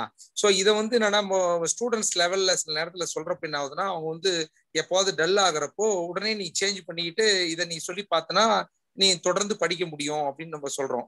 ஸோ அந்த மாதிரி இருக்கிறப்போ அந்த செல்ஃப் அஃபியூமேஷன் வந்து சுய பிரகடனங்கள் சுய கட்டளைகள் வந்து அவங்களுடைய எண்ணத்தை வந்து கண்டினியூட்டி பண்றதுக்கான ஒரு வாய்ப்பா இருக்கிறது நான் நினைக்கிறேன் ஆமா. ஸோ நீங்க சொல்றது கரெக்ட் தான். அதை ஒரு பயிற்சியா பண்ணி ஒரு டெம்பரரியா இது பண்ணி வச்சுக்க கண்டிப்பா முடியும். அது வந்து ஒரு செயலா பண்ணி ஒரு பயிற்சி. அதுக்கேற்ற மாதிரி நீங்க சொல்ற ஏதோ மாதிரி பாசிட்டிவா பண்றதோ இல்லை ஏதோ ஒரு பயிற்சி பண்ணி அதை ஒரு டெம்பரரியா ஒரு ஷேப்புக்கு கொண்டு வர முடியும். பர்மனண்டா அந்த மாதிரி எதுவுமே பண்ண முடியாது. இது வந்து எப்படின்னா ஒரு ரப்பர் பேண்ட் அதுக்கு ஏற்கனவே அவங்க ட்ரைன் பண்ணி வச்சிருக்கணுங்க ஐயா. அந்த அந்த ட்ரைனிங் வந்து நம்ம கொடுத்துருக்கணும். அவங்க மனசுல அது அவங்க அதை நம்பணும். அதுதாங்க ஐயா. கரெக்ட் இது வந்து எப்படின்னா ஒரு ரப்பர் பேண்ட் இருக்குன்னா அது வந்து நல்லா ஸ்ட்ரெச் பண்ணி இழுத்து பிடிச்சி வச்சிருக்கிற மாதிரி. ஸோ இது வந்து டெம்பரரி ஆமா வச்சுக்கலாம் தான். கண்டிப்பா வச்சுக்க முடியும். டெம்பரரியா வச்சுக்க முடியும். ஆனா அதோட நேச்சுரல் ஸ்டேட் பாத்தீங்கன்னா விட்டீங்கன்னா திருப்பி அதோட ஒரிஜினல் ஸ்டேட்டுக்கு தான் வந்து நிற்கும் அந்த மாதிரி அந்த அர்த்தத்துக்காக இது சொல்றது. நன்றிங்க நன்றி ஆ ஓகே தேங்க்யூ ஸோ அதே மாதிரி அடுத்த இன்னொரு கேள்வி வந்து ஒரு குறிப்பிட்ட உணர்வோட தாக்கம். தாக்கம்னா இப்போ வந்து இப்போ ஒரு சின்ன பிரச்சனை வருது அப்படின்னா ஏதோ ஒரு சின்ன பிரச்சனை ஆஃபீஸில் அப்படின்னா பெருசாக ஒன்றும் வருத்தப்பட மாட்டோம். ஏதோ ஒரு ஒரு சின்ன வருத்தமோ கவலையோ இருக்கு இருக்கலாம். பட் அதுக்கு அதோட அளவு தாக்கம் வந்து கம்மியாக தான் இருக்கும். அது வேற ஏதோ ஒரு பெரிய பிரச்சனை ஒரு ஏதோ ஒரு ரொம்ப முக்கியமான இல்லை ரொம்ப கிரிட்டிக்கல் பிரச்சனை அப்படின்னா அதோட தாக்கம் ஜாஸ்தியாக இருக்கும். ரொம்ப உடனே எல்லா வேலையும் விட்டு அதுக்கு அட்டன் பண்ணுற மாதிரி அவ்வளோ வருத்தத்திலையோ இல்லை ஒரு ஸ்டக் ஆகிடுவோம் டோட்டலாக முடக்கி போட்டுரும் அப்படின்னு சொல்லுவாங்க இல்லையா? அந்த மாதிரி. ஸோ அந்த உணர்வோட தாக்கத்தை வந்து நம்ம கூட்டவோ குறைக்கவோ முடியுமா? அப்படின்ட்டு நம்ம செக் பண்ணி பார்த்தோம்னா அகைன் பார்த்தீங்கன்னா அந்த பிரச்சனைக்கு என்ன அந்த சூழ்நிலையில அந்த பிரச்சனைக்கு என்ன என்ன இம்பார்ட்டன்ஸ் இல்லை என்ன முக்கியத்துவம் இருக்கோ அதுக்கேற்ற மாதிரி உணர்வோட தாக்கமும் இருக்கும். ஸோ ஏதோ இப்போ சொன்ன மாதிரி நான் வந்து ஏதோ ஒரு சின்ன பிரச்சனை ஈஸியாக கடந்து போகக்கூடிய பிரச்சனை அப்படின்னா தாக்கம் வந்து கம்மியாக இருக்கும். ஈஸியாக கடந்து போக முடியாத மாதிரி மிகப்பெரிய பிரச்சனை வாழ்க்கையிலேயே ஒரு இப்போ கொரோனா மாதிரி ஃபார் எக்ஸாம்பிள் இது நம்ம ஃபர்ஸ்ட் டைம் ஃபேஸ் பண்ணோம். பெரிய பிரச்சனைனா பெரிய தாக்கமாக தான் இருக்கும். ஸோ அந்த தாக்கம் வந்து சூழ்நிலைக்கு ஏற்ற மாதிரி சூழ்நிலைக்கு எப்படி இருக்கோ அதுக்கேற்ற மாதிரி கூ கம்மியாவோ ஜாஸ்தியாவோ அந்த மாதிரி இருக்கு. ஸோ அது வந்து அகைன் நம்ம கையில நான் ஏதோ உட்காந்து மாடிஃபை இதை மாத்திக்கிறது எனக்கு இதுக்கு வந்து கம்மி தாக்கம் தான் வரணும். ஏன்னா நான் இப்போ வந்து பிஸியா இருக்கேன். இப்போ ஒரு வேற ஏதோ வேலையில இருக்கேன். அதனால தாக்கம் வந்து கம்மி பண்ணிக்கணும். இல்லை சந்தோஷமா இந்த விஷயம் வந்து எனக்கு சந்தோஷத்தை கொடுக்குது. ஸோ அதனால இன்னும் சந்தோஷத்தை அதிகமாக வச்சுக்கணும். சின்ன விஷயமா சின்ன சந்தோஷம் சின்ன விஷயம்தான் ஆனால் இந்த தாக்கம் வந்து அதிகமாக இருக்கணும்.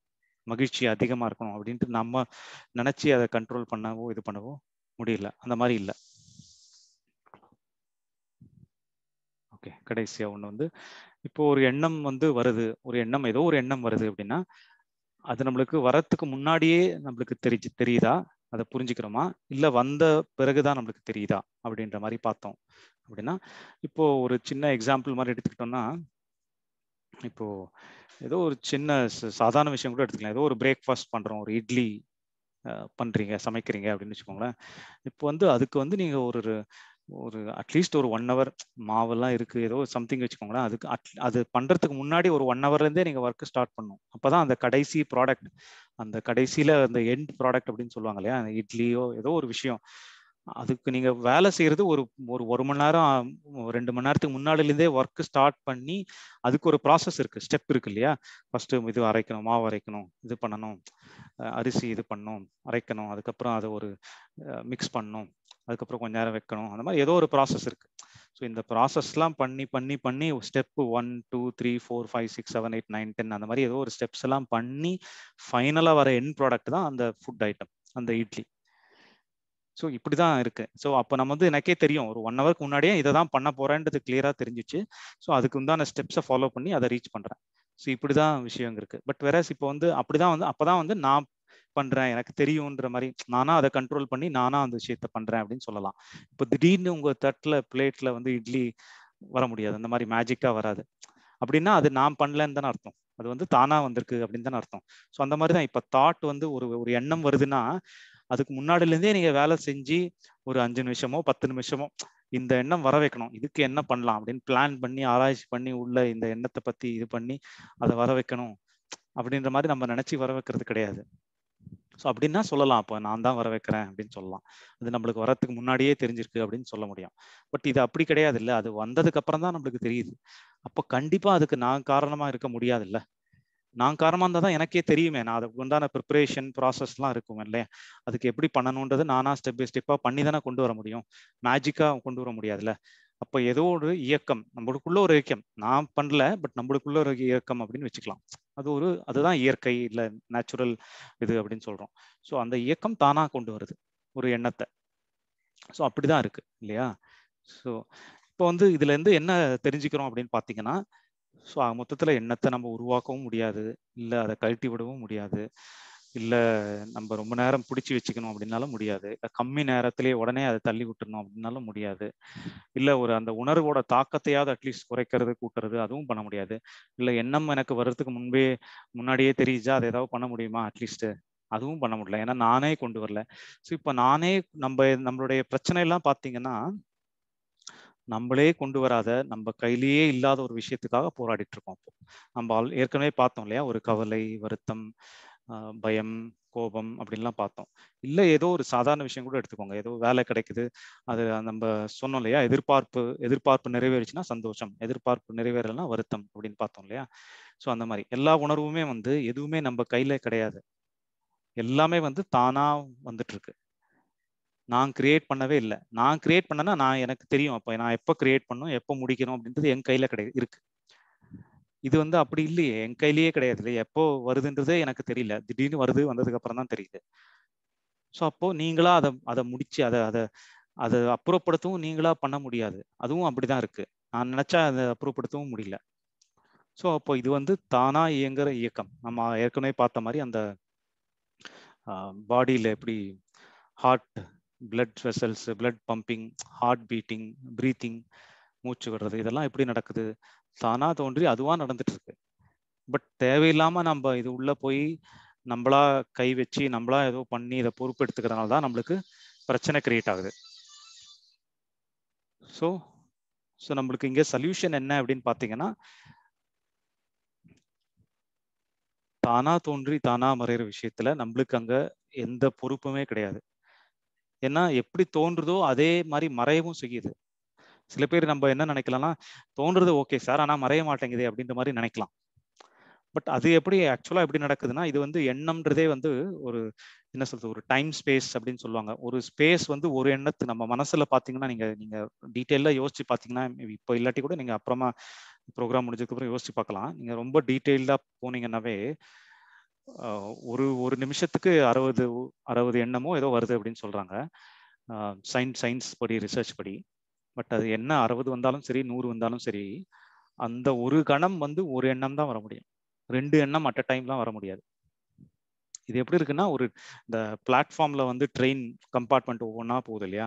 அந்த மாதிரி தான் ஒரு எண்ணம் வருது அது போனதுக்கு அப்புறம் இன்னொரு எண்ணம். இல்லை இன்னொரு எண்ணம் வந்ததுக்கப்புறம் இது போயிடுது. எப்படி வேணா வச்சுக்கலாம். ஸோ அட் அ டைம் வந்து ஒரு எண்ணம் தான். அதில் தான் நம்ம ஃபோக்கஸ் போ போக முடியும். எவ்வளோ வந்தாலும் சரி அட் அ டைம் அது சின்ன ஒரு மைக்ரோ செகண்ட் கேப் இருந்தாலும் சரி நம்மளுக்கு அதை வந்து அளவிட முடியாத அந்த அளவுக்கு ரொம்ப ஒரு சின்ன கேப்பாக இருக்கலாம். அது வேற விஷயம். நம்ம பார்க்க முடியாத அதை அதை இது பண்ண முடியும் கிரகிக்க முடியாத மாதிரி இருக்கலாம். பட் இருந்தாலுமே ஒவ்வொரு எண்ணமாக தான் வருது. ஸோ எல்லாமே வந்து ஒரு மூமெண்ட்ல இருக்கு. இப்போ பார்த்தீங்கன்னா உலகமே அப்படிதான் இருக்கு. நம்ம பாடியில பிளட் செல்ஸ் பார்த்தீங்கன்னா அந்த ஒவ்வொரு நிமிஷமும் ஒவ்வொரு செகண்டும் வந்து எவ்வளோ பிளட் செல்ஸ் எவ்வளோ செல்ஸ் வந்து அழிஞ்சு போகுது இன்னும் புதுசாக உற்பத்தி ஆகுது. அப்படிதான் இருக்கு இல்லையா? ஸோ உலகமே எல்லா விஷயமே டைம் எடுத்துக்கிட்டிங்கன்னா ஒவ்வொரு செகண்டும் போயிட்டு தான் இருக்கு டைமை வந்து நிறுத்தி வைக்கலாம் முடியாது. நான் கிளாக் டைம்னு சொல்ல அதர்வைஸ் ஜென்ரலாக சொல்கிறேன் இப்போ உலகம் பூமி சுற்றுறதும் ஒவ்வொரு நொடியும் சுற்றிட்டு தான் இருக்குது உலகமே கேலக்சியே எடுத்துட்டிங்கன்னா அதுவும் வந்து நகர்ந்துகிட்டே தான் இருக்கு. எதுவுமே வந்து ஒரு ஸ்டேஷனரியா நின்றுட்டு ஒரு இதுதான் ஸ்டேஷனரி இப்படி தான் அப்படின்ற மாதிரி எதுவுமே கிடையாது. எல்லாமே மாறிக்கிட்டே இருக்கு. ஒவ்வொரு செகண்டும் மாறிக்கிட்டே இருக்கு. ஸோ அந்த மாதிரி இதுவும் இயற்கையே அப்படிதான் இருக்கு. அந்த மாதிரி இந்த எண்ண ஓட்டம்ன்றதும் ஒரு இயற்கையாக நடக்கிற ஒரு விஷயம். ஸோ அதுவும் ஒவ்வொரு செகண்டும் மாறிக்கிட்டே தான் இருக்கு. அடுத்த எண்ணம் வருதுனாவே இந்த இடம் போயிடுச்சுன்னு தான் அர்த்தம். இப்போ எண்ணம் சும்மா ஒரு நம்பர் கொடுத்தீங்கன்னா இது நம்பர் ஒன் இது நம்பர் டூ அப்படின்னு வச்சுக்கிட்டோம்னா இந்த நம்பர் டூ வந்துடுச்சு அப்படின்னாவே நம்பர் ஒன் வந்து இந்த இடத்த விட்டு போயிடுச்சு ஆக்சுவலா பட் நம்ம என்ன பண்றோம்னா நம்மளோட மெமரி அதுல இருந்து எடுத்து ஓ இந்த எண்ணம் வந்துருச்சே இது எப்படி வரலாம் எனக்கு? இல்ல இது வரக்கூடாதே ஐயோ நான் தப்பு பண்ணிட்டேனே இது வரக்கூடாதே அப்படின்னு சொல்லி பிடிச்சி திருப்பியும் அதை உள்ள எடுத்து வச்சுட்டு அதோட போராடிட்டு இருக்கிற மாதிரி அதை ரினியூ பண்றோம் புதுப்பிக்கிறோன்ற மாதிரி ஆயிடும். திருப்பியும் அதே எண்ணத்தை திருப்பியும் கொண்டு வர மாதிரி. இப்போ நம்பர் ஒன் வந்து போயிடுச்சு நம்பர் டூ இங்க இருக்கு. ஆனா இதை பத்தி யோசிச்சு நம்ம கவலை திருப்பியும் ஐயோ ஒன்னு வந்துருச்சே அப்படின்னு சொல்லி திருப்பியும் அதை கொண்டு வந்து திருப்பி எங்கள் லைன்ல திருப்பியும் இது உள்ள கொண்டு வந்துடுறோம். அதாவது இந்த நீங்கெல்லாம் இமெயில் யூஸ் பண்ணிருப்பீங்கன்னு நினைக்கிறேன். இல்லை கம்ப்யூட்டரில் கூட ரீசைக்கிள் பின் அப்படின்னு இருக்கும் ரீசைக்கிள் பின்னா அதை ஆல்ரெடி டெலீட் பண்ணி போகிற விஷயம். ஸோ போன விஷயத்த திருப்பி எட்டுன்னு வந்து ரீசைக்கிள் பின்னா ஐயோ இது வந்துருச்சேன்னு சொல்லி திருப்பி அதை எடுத்து உள்ளே போட்டு அதை உட்காந்து போராடிட்டு இருக்க மாதிரி அது தேவையில்லாத விஷயம் தான் டெலீட் பண்ணி ரீசைக்கிள் பின்னுக்கு போயிடுச்சு. ஆனா என்ன பண்றோம்னா நம்ம வந்து இல்ல இல்ல இல்ல ஐயோ அது எனக்கு வரக்கூடாதேன்னு சொல்லி நினைச்சு திருப்பியும் அதை எடுத்து உள்ள போட்டு அதை போராடுற மாதிரி அதை திருப்பியும் அதோட டீல் பண்ற மாதிரி ஸோ அந்த மாதிரி தான் வந்து மனசுல வந்து அந்த இருக்கிற மெமரி ஸ்பேஸே வந்து ஒரு எண்ணம் தான் வர முடியும். ஸோ அடுத்த எண்ணம் வந்த உடனே இது போயிடுச்சுன்னு தான் அர்த்தம். பட் நம்ம மெமரி இருக்கிறதுனால நம்ம இதையும் சேர்த்து வச்சு நம்ம நம்மளா உட்காந்து ஒரு பிரச்சனையை கிரியேட் பண்ணி நம்மளா வந்து இது வரக்கூடாது இது வந்திருக்கணுமே அப்படின்னு ஏதோ ஒரு கமெண்ட் அடிச்சு அது ஒரு முத்திரை குத்தி இது வந்து வரக்கூடாத விஷயம் எனக்கு வந்துருச்சு அப்படின்ற மாதிரி நினைச்சிங்கன்னா உடனே அப்போ அதை துரத்துறதுக்கு உண்டான வேலையெல்லாம் நம்ம ஆட்டோமேட்டிக்காக செய்ய ஆரம்பிச்சிடும் அதை அப்புறப்படுத்துறதுக்கு உண்டான வேலை. இல்லை இது ஐயோ ரொம்ப சூப்பரான விஷயம் இருக்கே. ஐயோ இவ்வளோ நல்ல விஷயமா இருக்கே அப்படின்னு சொல்லி நினச்சி அப்படின்னு ஒரு முத்திரை குத்துறதுனால உடனே அதை பிடிச்சி வச்சுட்டு அதை எவ்வளோ நேரம் பிடிச்சி வச்சுக்கலாம் அப்படின்ற மாதிரி அதோட போராடிட்டு இருப்போம். ஸோ அதனால இதோட அர்த்தம் வந்து நான் உடனே நீங்கள் முத்திரை குத்தக்கூடாது அப்படின்னு சொல்ல வரல. அப்படின்னு எடுத்துக்க தேவையில்லை. எல்லாமே இயற்கையா வந்து போயிட்டு இருக்கு நீங்க அந்த முத்திரை குத்துற அந்த வேலையும் வந்து இயற்கையா நடக்குது அப்படின்னு எடுத்துக்கிட்டிங்கனாவே போதும். அதுவும் வந்து நீங்க நீங்க திருப்பி அதை உட்காந்து மாடிஃபை பண்ண முடியாது. அதை வந்து சேஞ்ச் பண்ண முடியாது. ஸோ அப்படிதான் இங்க இயற்கையோட இப்படிதான் இருக்கு. ஸோ நம்மளுக்கு இருக்கிற நம்மளுக்கு எங்க பொறுப்பு இருக்கு அப்படின்னா செயல்ல மட்டும்தான். செயலை மட்டும்தான் நம்மளுக்கு எப்படி செய்யணுமோ அதை சரியாக செஞ்சுக்க முடியும். அங்கதான் அறிவை யூஸ் பண்ணி அறிவை வச்சு இந்த செயலை இப்படி செய்யலாம் இந்த செயலை இது செஞ்சால் போதும் இதோட விளைவு இப்படி இருக்கும் அதனால் இந்த செயல் செய்யணுமா வேணாமா அப்படின்னு முடிவு எடுத்து எது கரெக்டாக பண்ணணுமோ பண்ணிக்கலாம். நம்மளுக்கு எப்படி விருப்பமோ அப்படி பண்ணிக்கலாம். அந்த செயலுக்கு நீங்கள் அதுக்கு உண்டான எக்ஸ்பர்ட்ஸ் அந்த துறையில் இருக்கிற எக்ஸ்பர்ட்ஸ் இருப்பாங்க இல்லையா? ஒரு படிப்புன்னா படிப்பு சம்மந்தமா அந்த விஷயத்த அந்த துறையில யார் எக்ஸ்பர்ட்ஸ் இருக்காங்களோ அவங்க கிட்ட அந்த செயலை எப்படி சிறப்பா செய்யலாம் அப்படின்னு கேட்டுக்கலாம். அதுக்கும் ஞானத்துக்கும் சம்மந்தம் கிடையாது. ஒரு ஞானி தான் அந்த விஷயத்த கரெக்டா சொல்லுவாரு அப்படின்லாம் எந்த எந்த கேரண்டியுமே கிடையாது. அந்த ஞானிக்கு அந்த டோட்டலா அந்த விஷயம் தெரியாம இருக்கலாம். அந்த விஷயத்த தப்பா கூட கைட் பண்ணலாம்.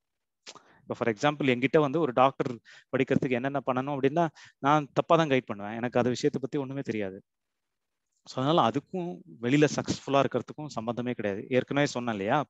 பெரிய பெரிய சக்ஸஸ்ஃபுல்லாக இருக்கிறவங்க ஒரு அம்பானி ஒரு சச்சின் டெண்டுல்கர் தோனி ஒரு ரஜினிகாந்த் சூப்பர் ஸ்டார் இவங்கெல்லாம் என்ன மனசு எப்படி மனசை பத்தி புரிஞ்சுக்கிட்டுலாம் சக்ஸஸ் பண்ணல.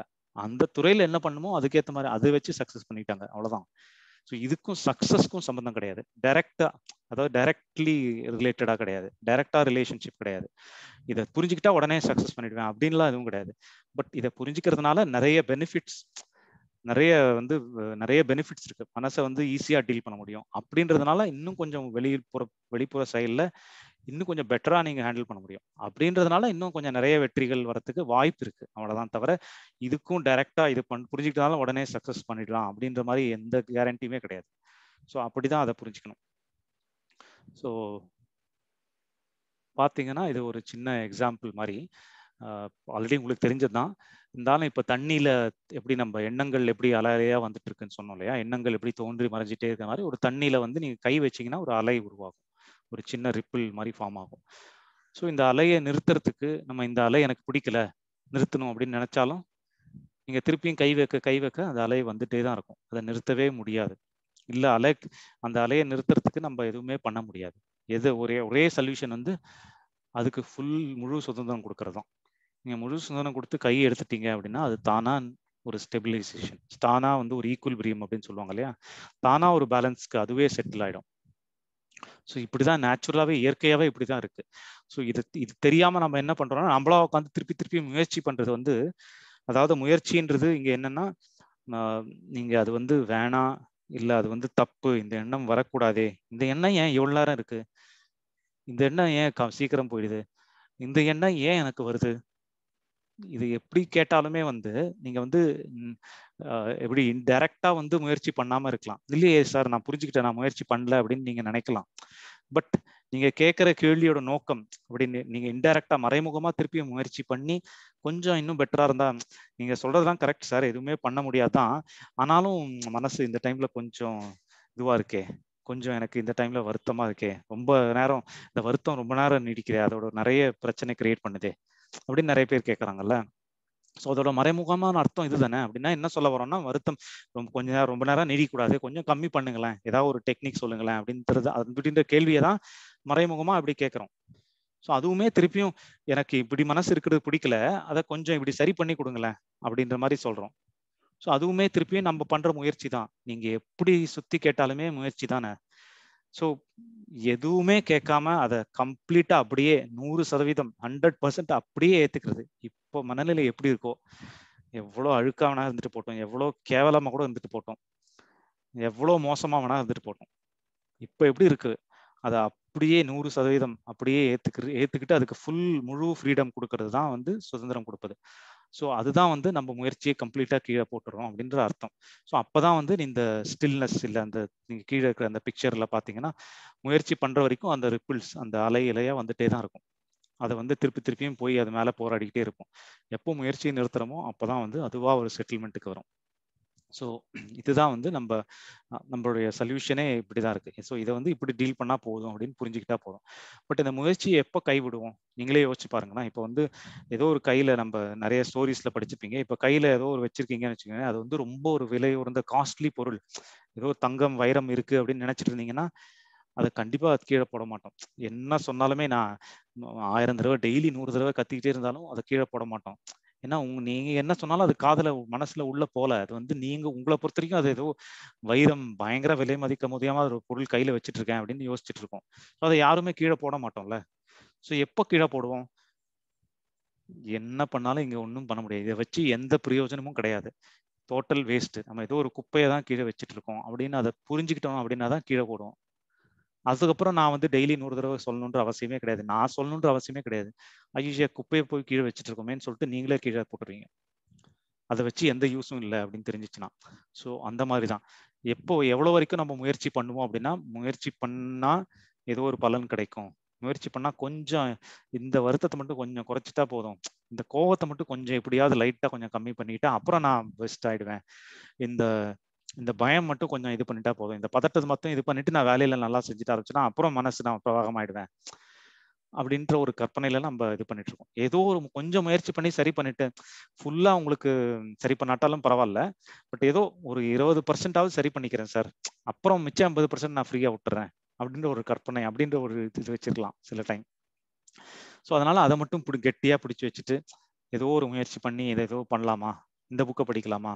இந்த புக்கை படி இந்த புக்கை படிச்சு இவங்ககிட்ட கொஸ்டின் கேட்கலாமா?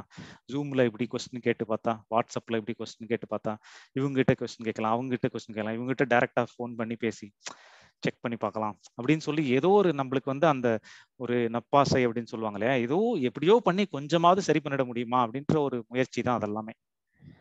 ஸோ முயற்சி இருக்கிற வரைக்கும் அந்த ரிப்பிள்ஸ் அந்த இது வந்து நம்ம கையில கீழே போட மாட்டோம். அதாவது முயற்சின்றது நம்ம கையில ஏதோ விலை மதிப்புள்ளாத விலை மதிப்பில்லாத ஒரு பொருள் இருக்கு அப்படின்ட்டு நினைச்சிட்டே இருக்கும்போது முயற்சி இருந்துட்டே இருக்கும். ஸோ எப்போ இந்த முயற்சி எல்லாம் வீண்? என்ன பண்ணாலும் தலைகீழ நின்னாலும் நீங்க உலகத்துல டெய்லி இருபத்தி நாலு மணி நேரம் பிரவாகத்தை பத்தி கேட்டுனே இருந்தாலும் சரி புக்கை படிச்சுனே இருந்தாலும் சரி உங்க மனசு நம்ம கையில நீங்க கண்ட்ரோல்ல வராது. நீங்க சந்தோஷமா நினைக்கணும்னா சந்தோஷமா அது கொடுக்காது. நீங்க நினைக்கிற உணர்வெல்லாம் வராது. அது ஏதாவது கேடா கூடமா கொடுத்துட்டே இருக்கும். கிட்டத்தட்ட ஒரு இப்படி கூட வச்சுக்கலாம். ஒரு பைத்தியக்காரனை அவங்க கூடவே வச்சுட்டு இருக்கிற மாதிரி. வெளியில இல்ல உள்ள வச்சுட்டு இருக்கிற மாதிரி. அது எதையாவது கத்திக்கிட்டே இருக்கும். எதையாவது சொல்லிக்கிட்டே இருக்கும். நீங்க இப்படி பண்ணணும்னு நினைப்பீங்க. அது ஏதோ டைரக்ஷன்ல போகும். ஏன் இப்படி பண்ணுது? ஏன் எனக்கு இந்த அது ஏன் சார் இப்படி வந்தது? இத்தனை நாள் நினைக்கவே இல்லையா. அது இருபது நிமிஷம் முன்னாடி நடந்த விஷயம் ஏன் இப்போ வருது? இல்லை கேள்வி கேட்க முடியாது. அதான் ஒரு பைத்தியக்காரன்னு சொல்லிட்டு அவ்வளோதான் அதோட முடிஞ்சுது. அது என்ன வேணா பண்ணலாம். அதுக்கு நீங்க ரூலே ஃபிக்ஸ் பண்ண முடியாது. ஏன்னா ரூல் ஃபாலோ பண்ணுன்ட்டு உங்களுக்கு தான் தெரியும். பட் அந்த பைத்தியக்காரனுக்கு தெரியாது இல்ல ரூல் ஃபாலோ பண்ணுன்றது. ஸோ அந்த மாதிரி தான் மனசு. மனசுக்கு நீங்க வேணா ரூல்ஸ் கொடுக்கலாம். பட் மனசுக்கு ரூல் ஃபாலோ பண்ணுன்றதெல்லாம் அதுக்கு அது உங்க கட்டுப்பாட்டிலேயே இல்லை அப்படின்றத நம்ம புரிஞ்சுக்கணும். ஸோ நீங்கள் எந்த விதத்துலையுமே ரூல்ஸ் கொண்டு வர முடியாது. நேர்முகமா வந்தாலும் சரி மறைமுகமா ரூல்ஸ் கொண்டு வந்தாலும் எப்படியுமே கொண்டு வர முடியாது. அப்படின்ற புரிஞ்சுக்கும் போது தான் அந்த முயற்சியை நம்மளா கீழே போடுவோம். ஸோ அது முயற்சியை கீழே போடுறது தான் வந்து சுதந்திரம் கொடுப்பது அப்படின்றது சொல்கிறோம் ஸோ சுதந்திரம் கொடுத்துட்டிங்கன்னா அதுக்கப்புறம் அதுவாக செட்டில் ஒரு செட்டில்மெண்ட்டுக்கு வந்துடும் அதுக்கப்புறம் நம்ம கான்ட்ரிபியூஷன் அங்கே தேவையே இல்லைன்னு புரிஞ்சிச்சுன்னா போதும். ஸோ இதுக்கப்புறம் நம்ம கான்ட்ரிபியூஷன் பண்ண வேண்டியது எல்லாமே வந்து வெளியில தான். ஸோ வெளியில வந்து இயற்கையான சூழ்நிலை கிடையாது. வெளியில வந்து எல்லாமே வந்து செயற்கையாக பண்ணது. இந்த உலகம் சொசைட்டி எல்லாமே வந்து நம்மளா கிரியேட் பண்ணுது. நம்மளுடைய கன்வீனியன்ஸ் நம்மளுடைய கம்ஃபர்ட் லிவிங்க்காக நம்மளா கிரியேட் பண்ணுது. ஸோ அங்கே வந்து அந்த ரூல்ஸ் அந்த உலகத்துல என்ன ரூல்ஸோ அந்த சொசைட்டில என்ன ரூல்ஸ் என்ன ரூல்ஸ் ஃபாலோ பண்ணுமோ அதை ஃபாலோ பண்ணீங்கன்னா தான் அதை வெற்றிகரமா பண்ண முடியும். அதுதான் நியாய தர்மம் அப்படின்னு சொல்றோம். ஸோ அந்த மாதிரி அதை ஃபாலோ பண்ணீங்கன்னா தான் நீங்க பிரச்சனை இல்லாம வாழ முடியும். இல்லை நான் அப்படி பண்ண மாட்டேன். அந்த ரூல்ஸை மீறி தான் பண்ணுவேன் அப்படின்னாலும் அதுவும் உங்க விருப்பம் தான். அதை பண்ணீங்கன்னா விளைவு நீங்க தான் சந்திக்கணும். அவ்வளவுதான். இப்போ வந்து ஒன் வேல போற மாதிரி. இப்போ ஒன் வேல போகக்கூடாதுன்றது தான் ரூல் போனீங்கன்னா என்ன எதுக்க வண்டி வரும்? நீங்க இடிக்க சான்சஸ் இருக்கு. இல்லை டிராஃபிக் போலீஸ் கூட வந்து ஃபைன் போடுவான் எல்லாமே வாய்ப்பு இருக்கு. இல்ல இல்ல பரவாயில்ல. எனக்கு வந்து அந்த ஒரு கிலோமீட்டர் சுத்திட்டு போகணும். நான் இப்படி போய்க்கிறேன். அதெல்லாம் நான் பாத்துக்கிறேன் அப்படின்னா உங்க விருப்பம். அது விளைவு வந்ததுன்னா நீங்க தான் ஏத்துக்கணும். அவ்வளவுதான். அந்த மாதிரி தான் வந்து சொசைட்டியில் இருக்கிற ரூல்ஸ் எல்லாம். அதை நீங்கள் தான் யோசிச்சு முடிவு பண்ணி நீங்கள் அந்த ரூல்ஸை மீறினீங்கன்னா பிரச்சனை வரும். அந்த பிரச்சனையை நீங்கள் தான் நீங்கள் தான் ஃபேஸ் பண்ணிக்கணும். அதை எப்படி ஃபேஸ் பண்ணணும் எந்த அளவுக்கு பண்ண முடியும்ன்றது உங்களுடைய திறமை உங்களுடைய இதை பொறுத்து. அதனால வந்து பெஸ்ட்டு பிரச்சனை இல்லாமல் ஈஸியாக கம்ஃபர்டபுள் லிவிங்க்கு அந்த சொசைட்டி ரூல்ஸை ஃபாலோ பண்ணிட்டு போனால் உங்கள் ஈஸியாக இருக்கும். உங்கள் பிரச்சனை இல்லாமல் மினிமம் பிரச்சனையோட நீங்கள் ஈஸியாக கடந்து போகலாம் ஸோ அதுக்காக வெளிப்புறத்தில் வந்து தர்மம் நியாய தர்மத்தை வச்சு அந்த சொசைட்டி ரூல்ஸ் அண்ட் ரெகுலேஷன்ஸை அனுசரித்து போகிறது ஈஸியானது. அகத்தில் வந்து அந்த மாதிரி ரூல்ஸ் எதுவுமே கிடையாது. நீங்கள் ரூல் போட்டாலும் அது கேட்க போகிறதில்ல இல்லை அப்படின்றது எப்போ புரிஞ்சுக்கிறீங்களோ அது தானாக எங்க ஆரம்பிச்சிடும் ஸோ அப்படி தான் இருக்குது அவ்வளோதான் இன்னும் ஒரே ஒரு ஸ்லைட் ஸோ இப்போ இதனால் என்ன யூஸ் இந்த புரிஞ்சுக்கிறதுனால என்ன சில பேர் கேட்பாங்க. இதை புரிஞ்சுக்கிறதுனால எனக்கு என்ன பெனிஃபிட் அப்படின்ட்டு. பெனிஃபிட்னா ஒரே ஒரு சிம்பிள் தான். இப்போ வந்து எமோஷனல் பேக்கேஜ் அப்படின்னு சொல்லுவோம் இல்லையா? புரிதலுக்கு முன்னாடி எப்படின்னா இந்த வருத்தம் கவலை துக்கம் அது இதெல்லாம் எல்லாத்தையும் சுமந்துட்டு இதெல்லாம் நான் தான் சரி பண்ணி ஆகணும். ஃபுல்லா ஒரு ஒரு ஐம்பது கிலோ வெயிட்டை தூக்கிட்டு இருக்கிற மாதிரி.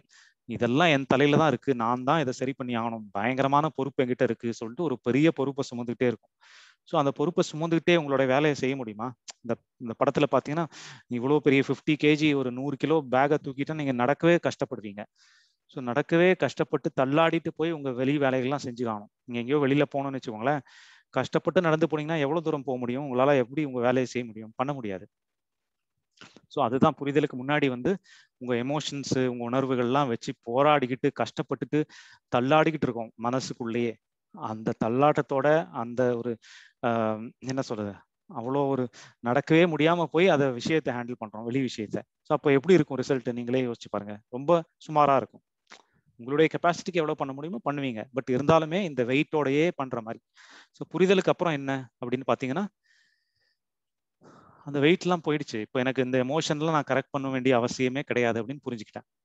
இந்த எமோஷன் இந்த எண்ணம் உணர்வெல்லாம் நம்ம கையிலேயே கிடையாதுன்னு புரிஞ்சுக்கிட்டேன். ஸோ நான் ஃப்ரீ ஆயிட்டேன். நான் எதையுமே கரெக்ட் பண்ண வேண்டிய அவசியமே கிடையாது அப்படின்னு புரிஞ்சுக்கிட்டேன். என்னோட தலையில எந்த சுமையுமே இல்லை. எல்லா பாரத்தையும் தூக்கி போட்டேன். பொறுப்பெல்லாம் கீழே தூக்கி போட்டேன். ஸோ ஃப்ரீ ஸோ ஃப்ரீனா இப்போ ஈஸியாக நடந்து போக முடியும். எந்த வெயிட்டுமே இல்லை. ஸோ இப்போ என்னோட செயலை வந்து இன்னும் பெட்டராக செய்ய முடியும். இல்லையா? முன்னாடி எப்படி தள்ளாடி நடந்து போய் ஒரு வேலையை செய்யறதுக்கும் இப்போ ஃப்ரீயாக ஜாலியாக போய் செய்யறதுக்கும் டிஃப்ரென்ஸ் இருக்கு இல்லையா? இப்போ வந்து அந்த செயலை இன்னும் பெட்டராக செய்ய முடியும் அப்படின்ற அர்த்தத்தில் தான். பட் அதனால் வந்து நான் ஏற்கனவே சொன்ன மாதிரி உடனே எல்லா செயலும் வெற்றிகரமாக முடியும் அப்படின்ற அர்த்தம் இல்லை. உங்களுடைய கெப்பாசிட்டிக்கு உங்களுடைய திறமைக்கு என்ன பண்ண முடியுமோ புரிதலுக்கு முன்னாடி விட இன்னும் ஈஸியாக பண்ண முடியும். ஏன்னா இன்னும் ரிலாக்ஸ்டாக பண்ணுறோம் ஸோ அப்போ இன்னும் ஈஸியாக பண்ண முடியும். ரிலாக்ஸ்டாக கூலாக ஒரு எந்த கன்ஃபியூஷன் குழப்பம் பதட்டம்லாம் இல்லாமல் பண்ணும்போது இன்னும் ஈஸியாகவே பண்ண முடியும் அப்படின்ற அர்த்தத்தில் தான் அதை எடுத்துக்கணும்.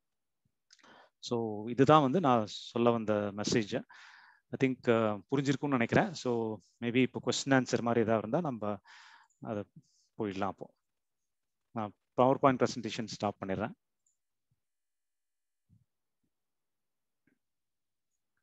கொஸ்டின்ஸ் இருக்குன்னா நீங்கள் சேட்டில் இல்லை ஹேண்ட்ஸ் ரைஸ் பண்ணிங்கன்னா நம்ம அதை பற்றி பேசலாம்.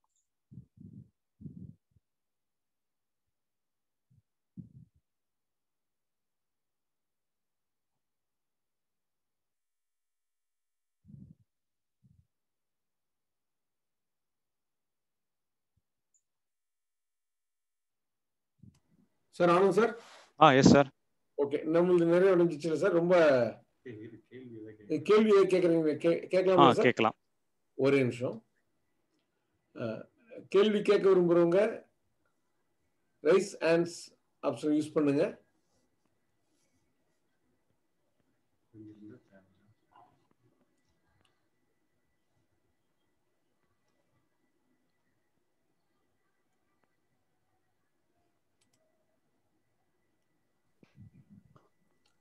ஆ இவங்க சந்திரிகா வந்திருக்காங்க. மேடம் வாங்க உங்களை அட்மிட் பண்ணியிருக்கோம். நீங்க பேசலாம். ஜஸ்ட் ஒரு டவுட் இப்போ. மெமரி மெமரின்னு சொல்றோம் இல்லைங்களா? மெமரிங்கிறது மனசோட ஒரு பகுதி தான் ஆமா. அதுதான் தேக்கத்துல இப்போ இருபது வருஷம் நாற்பது வருஷம் ஒரு ஒரு தாட் சுமந்துட்டு ஒரு இதை வச்சு நிறைய பேர் நம்ம பாக்குறோம் லைஃப்ல ஏதோ ஒரு ஹர்ட் எப்போ ஆயிருக்கும் அது நாற்பது வருஷத்துக்கு பகையா கொண்டாடிட்டு இருக்காங்க. சோ இந்த தேக்கம் வந்து மெமரியில இருக்கா? அது மெமரிக்கும் பிரபாகத்துக்கும் சம்பந்தம் இருக்கா?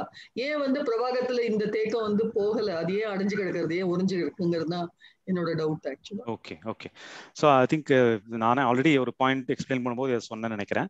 ஸோ மெமரியில இருக்கும். முக்கியத்துவம் எந்த அளவுக்கு முக்கியத்துவம் கொடுக்குறோமோ அந்த அளவுக்கு டீப்பா மெமரியில கண்டிப்பா இருக்கும். இப்போ வந்து டெய்லி பாத்தீங்கன்னா எவ்வளோ விஷயங்கள் கடந்து போறோம். எவ்வளோ பேரை மீட் பண்றோம்னு வச்சுக்கோங்களேன். சும்மா ரோட்ல போனீங்கன்னா நிறைய பேரை பார்ப்பீங்க. எல்லார் முகமும் இல்லை எல்லாத்தையும் ஞாபகம் வச்சுக்கிறது இல்லை முக்கியமா எது முக்கியத்துவம் கொடுக்குறீங்களோ அது மட்டும் தான் ஞாபகம் இருக்கும். எல்லாமே ஞாபகம் இருக்காது. எல்லாமே மெமரியில போய் ஸ்டோர் ஆகாது.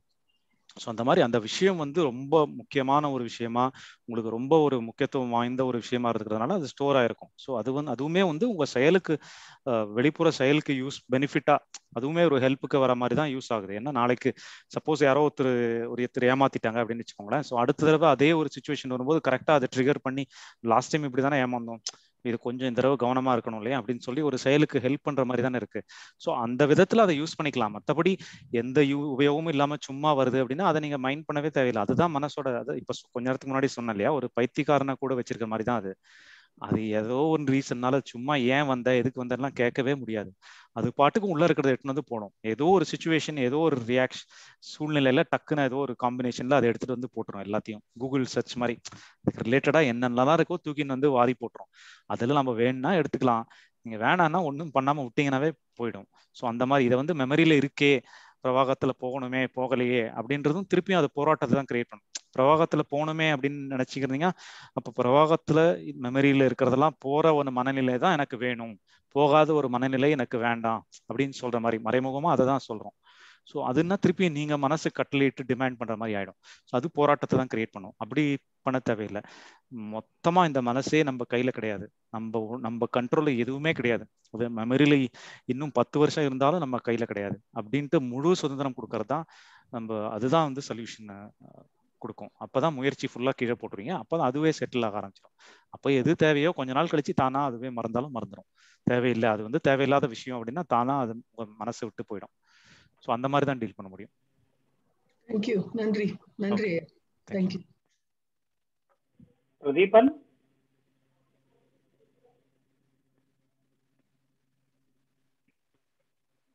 ஹலோ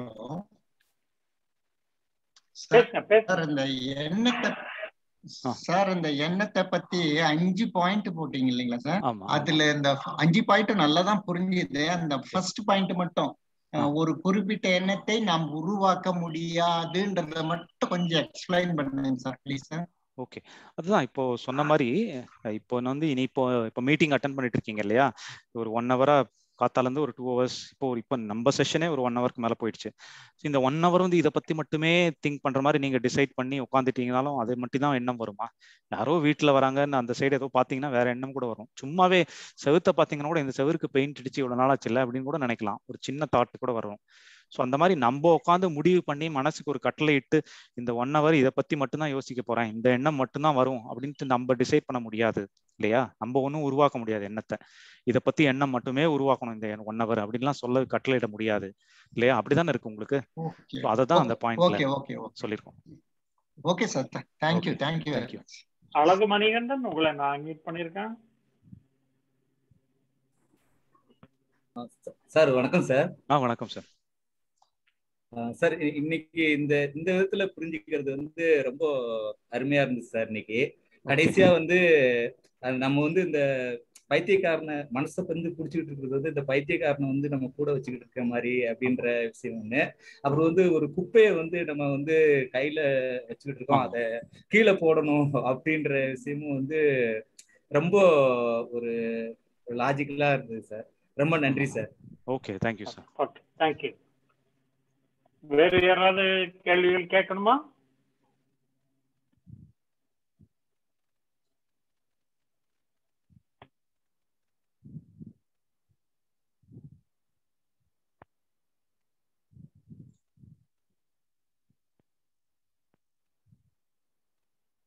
கேள்வி கேட்க விரும்புறவங்க ஹேண்ட்ஸ் ரைஸ் ஆப்ஷன் யூஸ் பண்ணுங்க.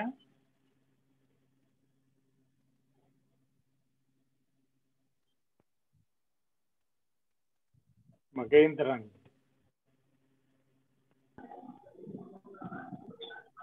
சார் வணக்கம் சார். ஆ வணக்கம் சார். சார் இப்போ சொன்ன விஷயங்கள் எல்லாமே புரியுது. என்னன்னா இப்போ தனக்கு ஏற்பட்ட ஒரு பாதிப்பு ஒன்று இருக்குங்க அகத்த? தன- ஓ- ஒரு பாதிப்பு ஒன்று இப்போ எனக்கு ஒன்று ஏற்பட்டிருக்குன்னா.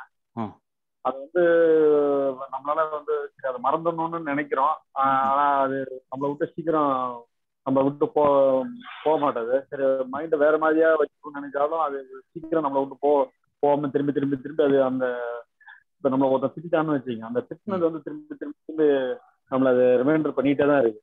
அந்த. சுச்சுவேஷன்ல சரி இது நினைக்க கூடாதுன்னு நினைச்சாலும் அதிகமா நினைக்கிறோம். அது மாதிரி சுச்சுவேஷன்ல நம்ம வேற ஒண்ணு இதை விட்டுட்டு வேற ஒரு ஏதாவது திங்கிங் பண்ணோம் இதை மறந்துடும்னால மறக்க முடியல. அது மாதிரி சுச்சுவேஷன்ல எப்படி சார் அதை கையாளுறது? ஓகே. சிம்பிள். இது வந்து நம்ம உங்க நோக்கம் வந்து ஆக்சுவலா அதை மறக்கணும்னு நினைக்கிறோம். பட் ஆனா அதை பத்தியே நினைச்சு அதை பத்தியே டீல் பண்ணிட்டு இருந்தா அது மறக்கிறது கிடையாது இல்லையா?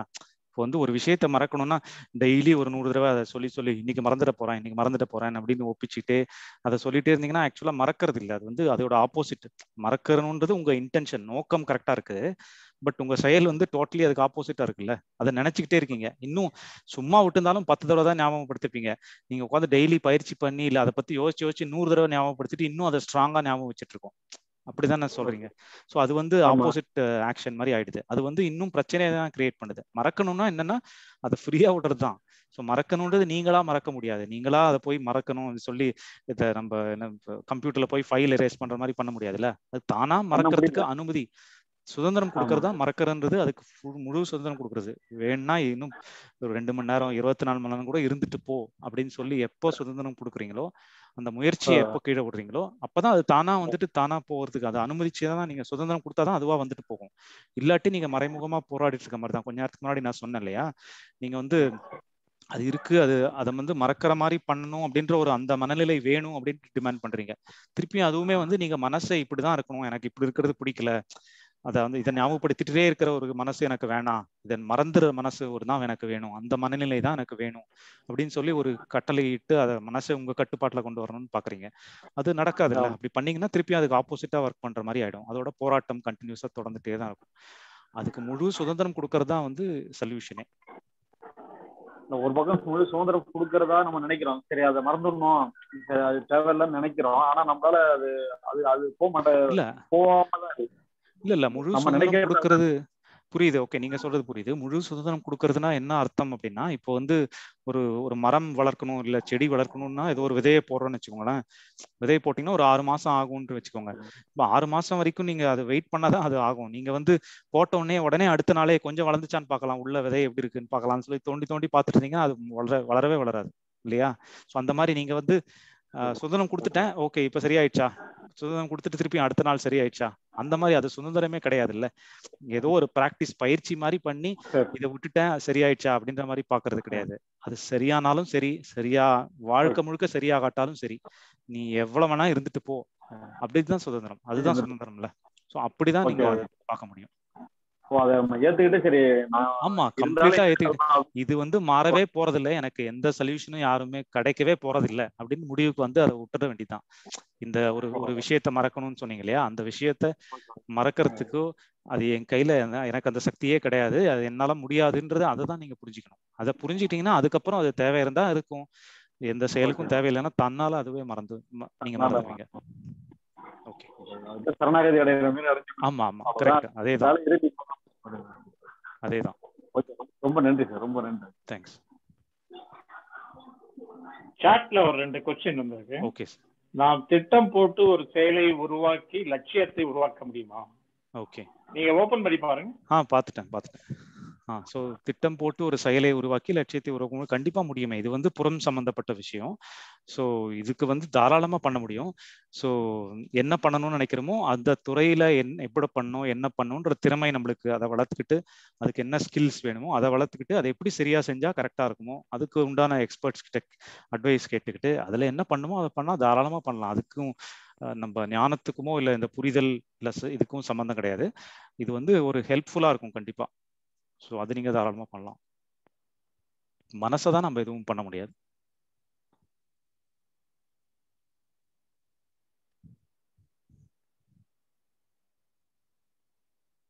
இன்னொரு கொஸ்டின் இருக்கு அங்க சாட்ல ஓகே மனம் போல் வாழ்க்கையா அதானே சொல்றீங்க சார் மனம் போல் வாழ்க்கையா எண்ணம் போல் வாழ்க்கையா? ஓகே ஸோ வாழ்க்கைன்றது எதை மீன் பண்றீங்கன்னு தெரியல. வாழ்க்கைன்றது நீங்க புற வாழ்க்கை அப்படின்னு எடுத்துக்கிட்டா மனம் போல் வாழ்க்கைன்றத விட மனசு வந்து எல்லா ஆப்ஷன்ஸ் ஏற்கனவே சொன்ன மாதிரி எல்லா ஆப்ஷன்ஸும் கொடுக்கும். அந்த சூழ்நிலையை எப்படி நிர்வாகம் பண்ணலாம் அப்படின்னு சொல்லி எல்லா ஆப்ஷன்ஸும் கொடுக்கும். அதுல நம்ம அறிவை யூஸ் பண்ணி இந்த இந்த ஆப்ஷன் எடுத்தா இந்த விளைவு இருக்கு இது சரியில்லை. இந்த ஆப்ஷன் எடுத்தா இந்த விளைவு வரும் இது மேனேஜ் பண்ணிக்கலாம் அப்படின்னு உங்க அறிவை வச்சு யோசிச்சு முடிவு பண்ணும். ஸோ அதுதான் உங்கள் வாழ்க்கையை தீர்மானிக்கும் இல்லையா? உங்கள் புற செயல்கள். மற்றபடி உள்ள வந்து வாழ்க்கையோ வாழ்க்கை அப்படின்னு எதுவுமே கிடையாது. உள்ள வந்து எந்த யூஸுமே கிடையாது. இதை வந்து டோட்டலாக ஒரு நம்ம போய் சரி பண்ணுற எந்த இதுவுமே கிடையாது. இதை இந்த டிபார்ட்மெண்ட்டே டோட்டலாக க்ளோஸ் பண்ணிட்டு நம்ம வேலை ஃபுல்லாமே வெளியில் மட்டும்தான் இருக்குது ஸோ அதுக்கு அந்த வெளி செயலை செய்யறதுக்கு என்ன எண்ணம் வரணும் என்ன உணர்வு வரணுன்றது அது நேச்சுரலாக தானாக அது வந்துட்டு இருக்கும். அதுக்கு நீங்கள் போய் ஒன்றும் செய்ய தேவையில்லை. ஸோ நம்ம கவனம் வந்து வெளியில செயல் மட்டும் இருந்தாவே இருந்தால் போதும்.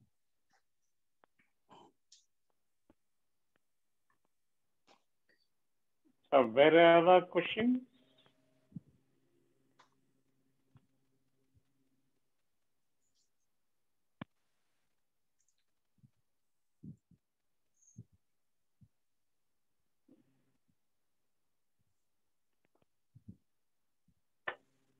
இப்போ பிரேக் விட்டுறலாமா அப்போ?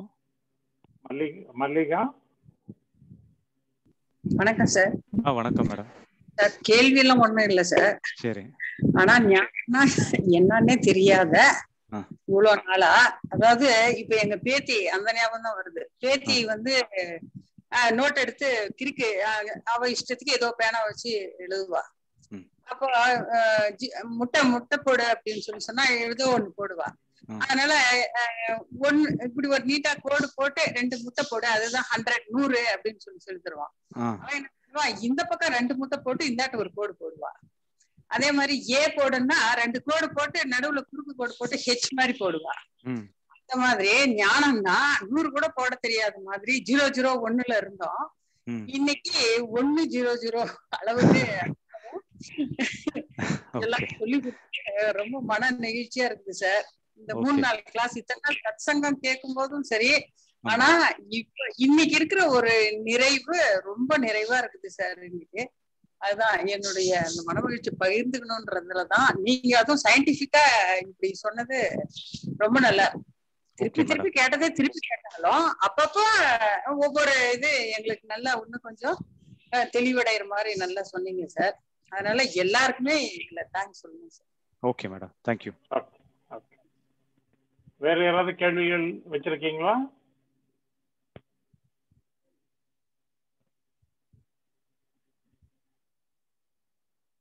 ஸோ கேள்விகள் ஒன்றும் இல்லைன்னா தென் ஆஃப்டர் லஞ்ச் மீட் பண்ணலாம்.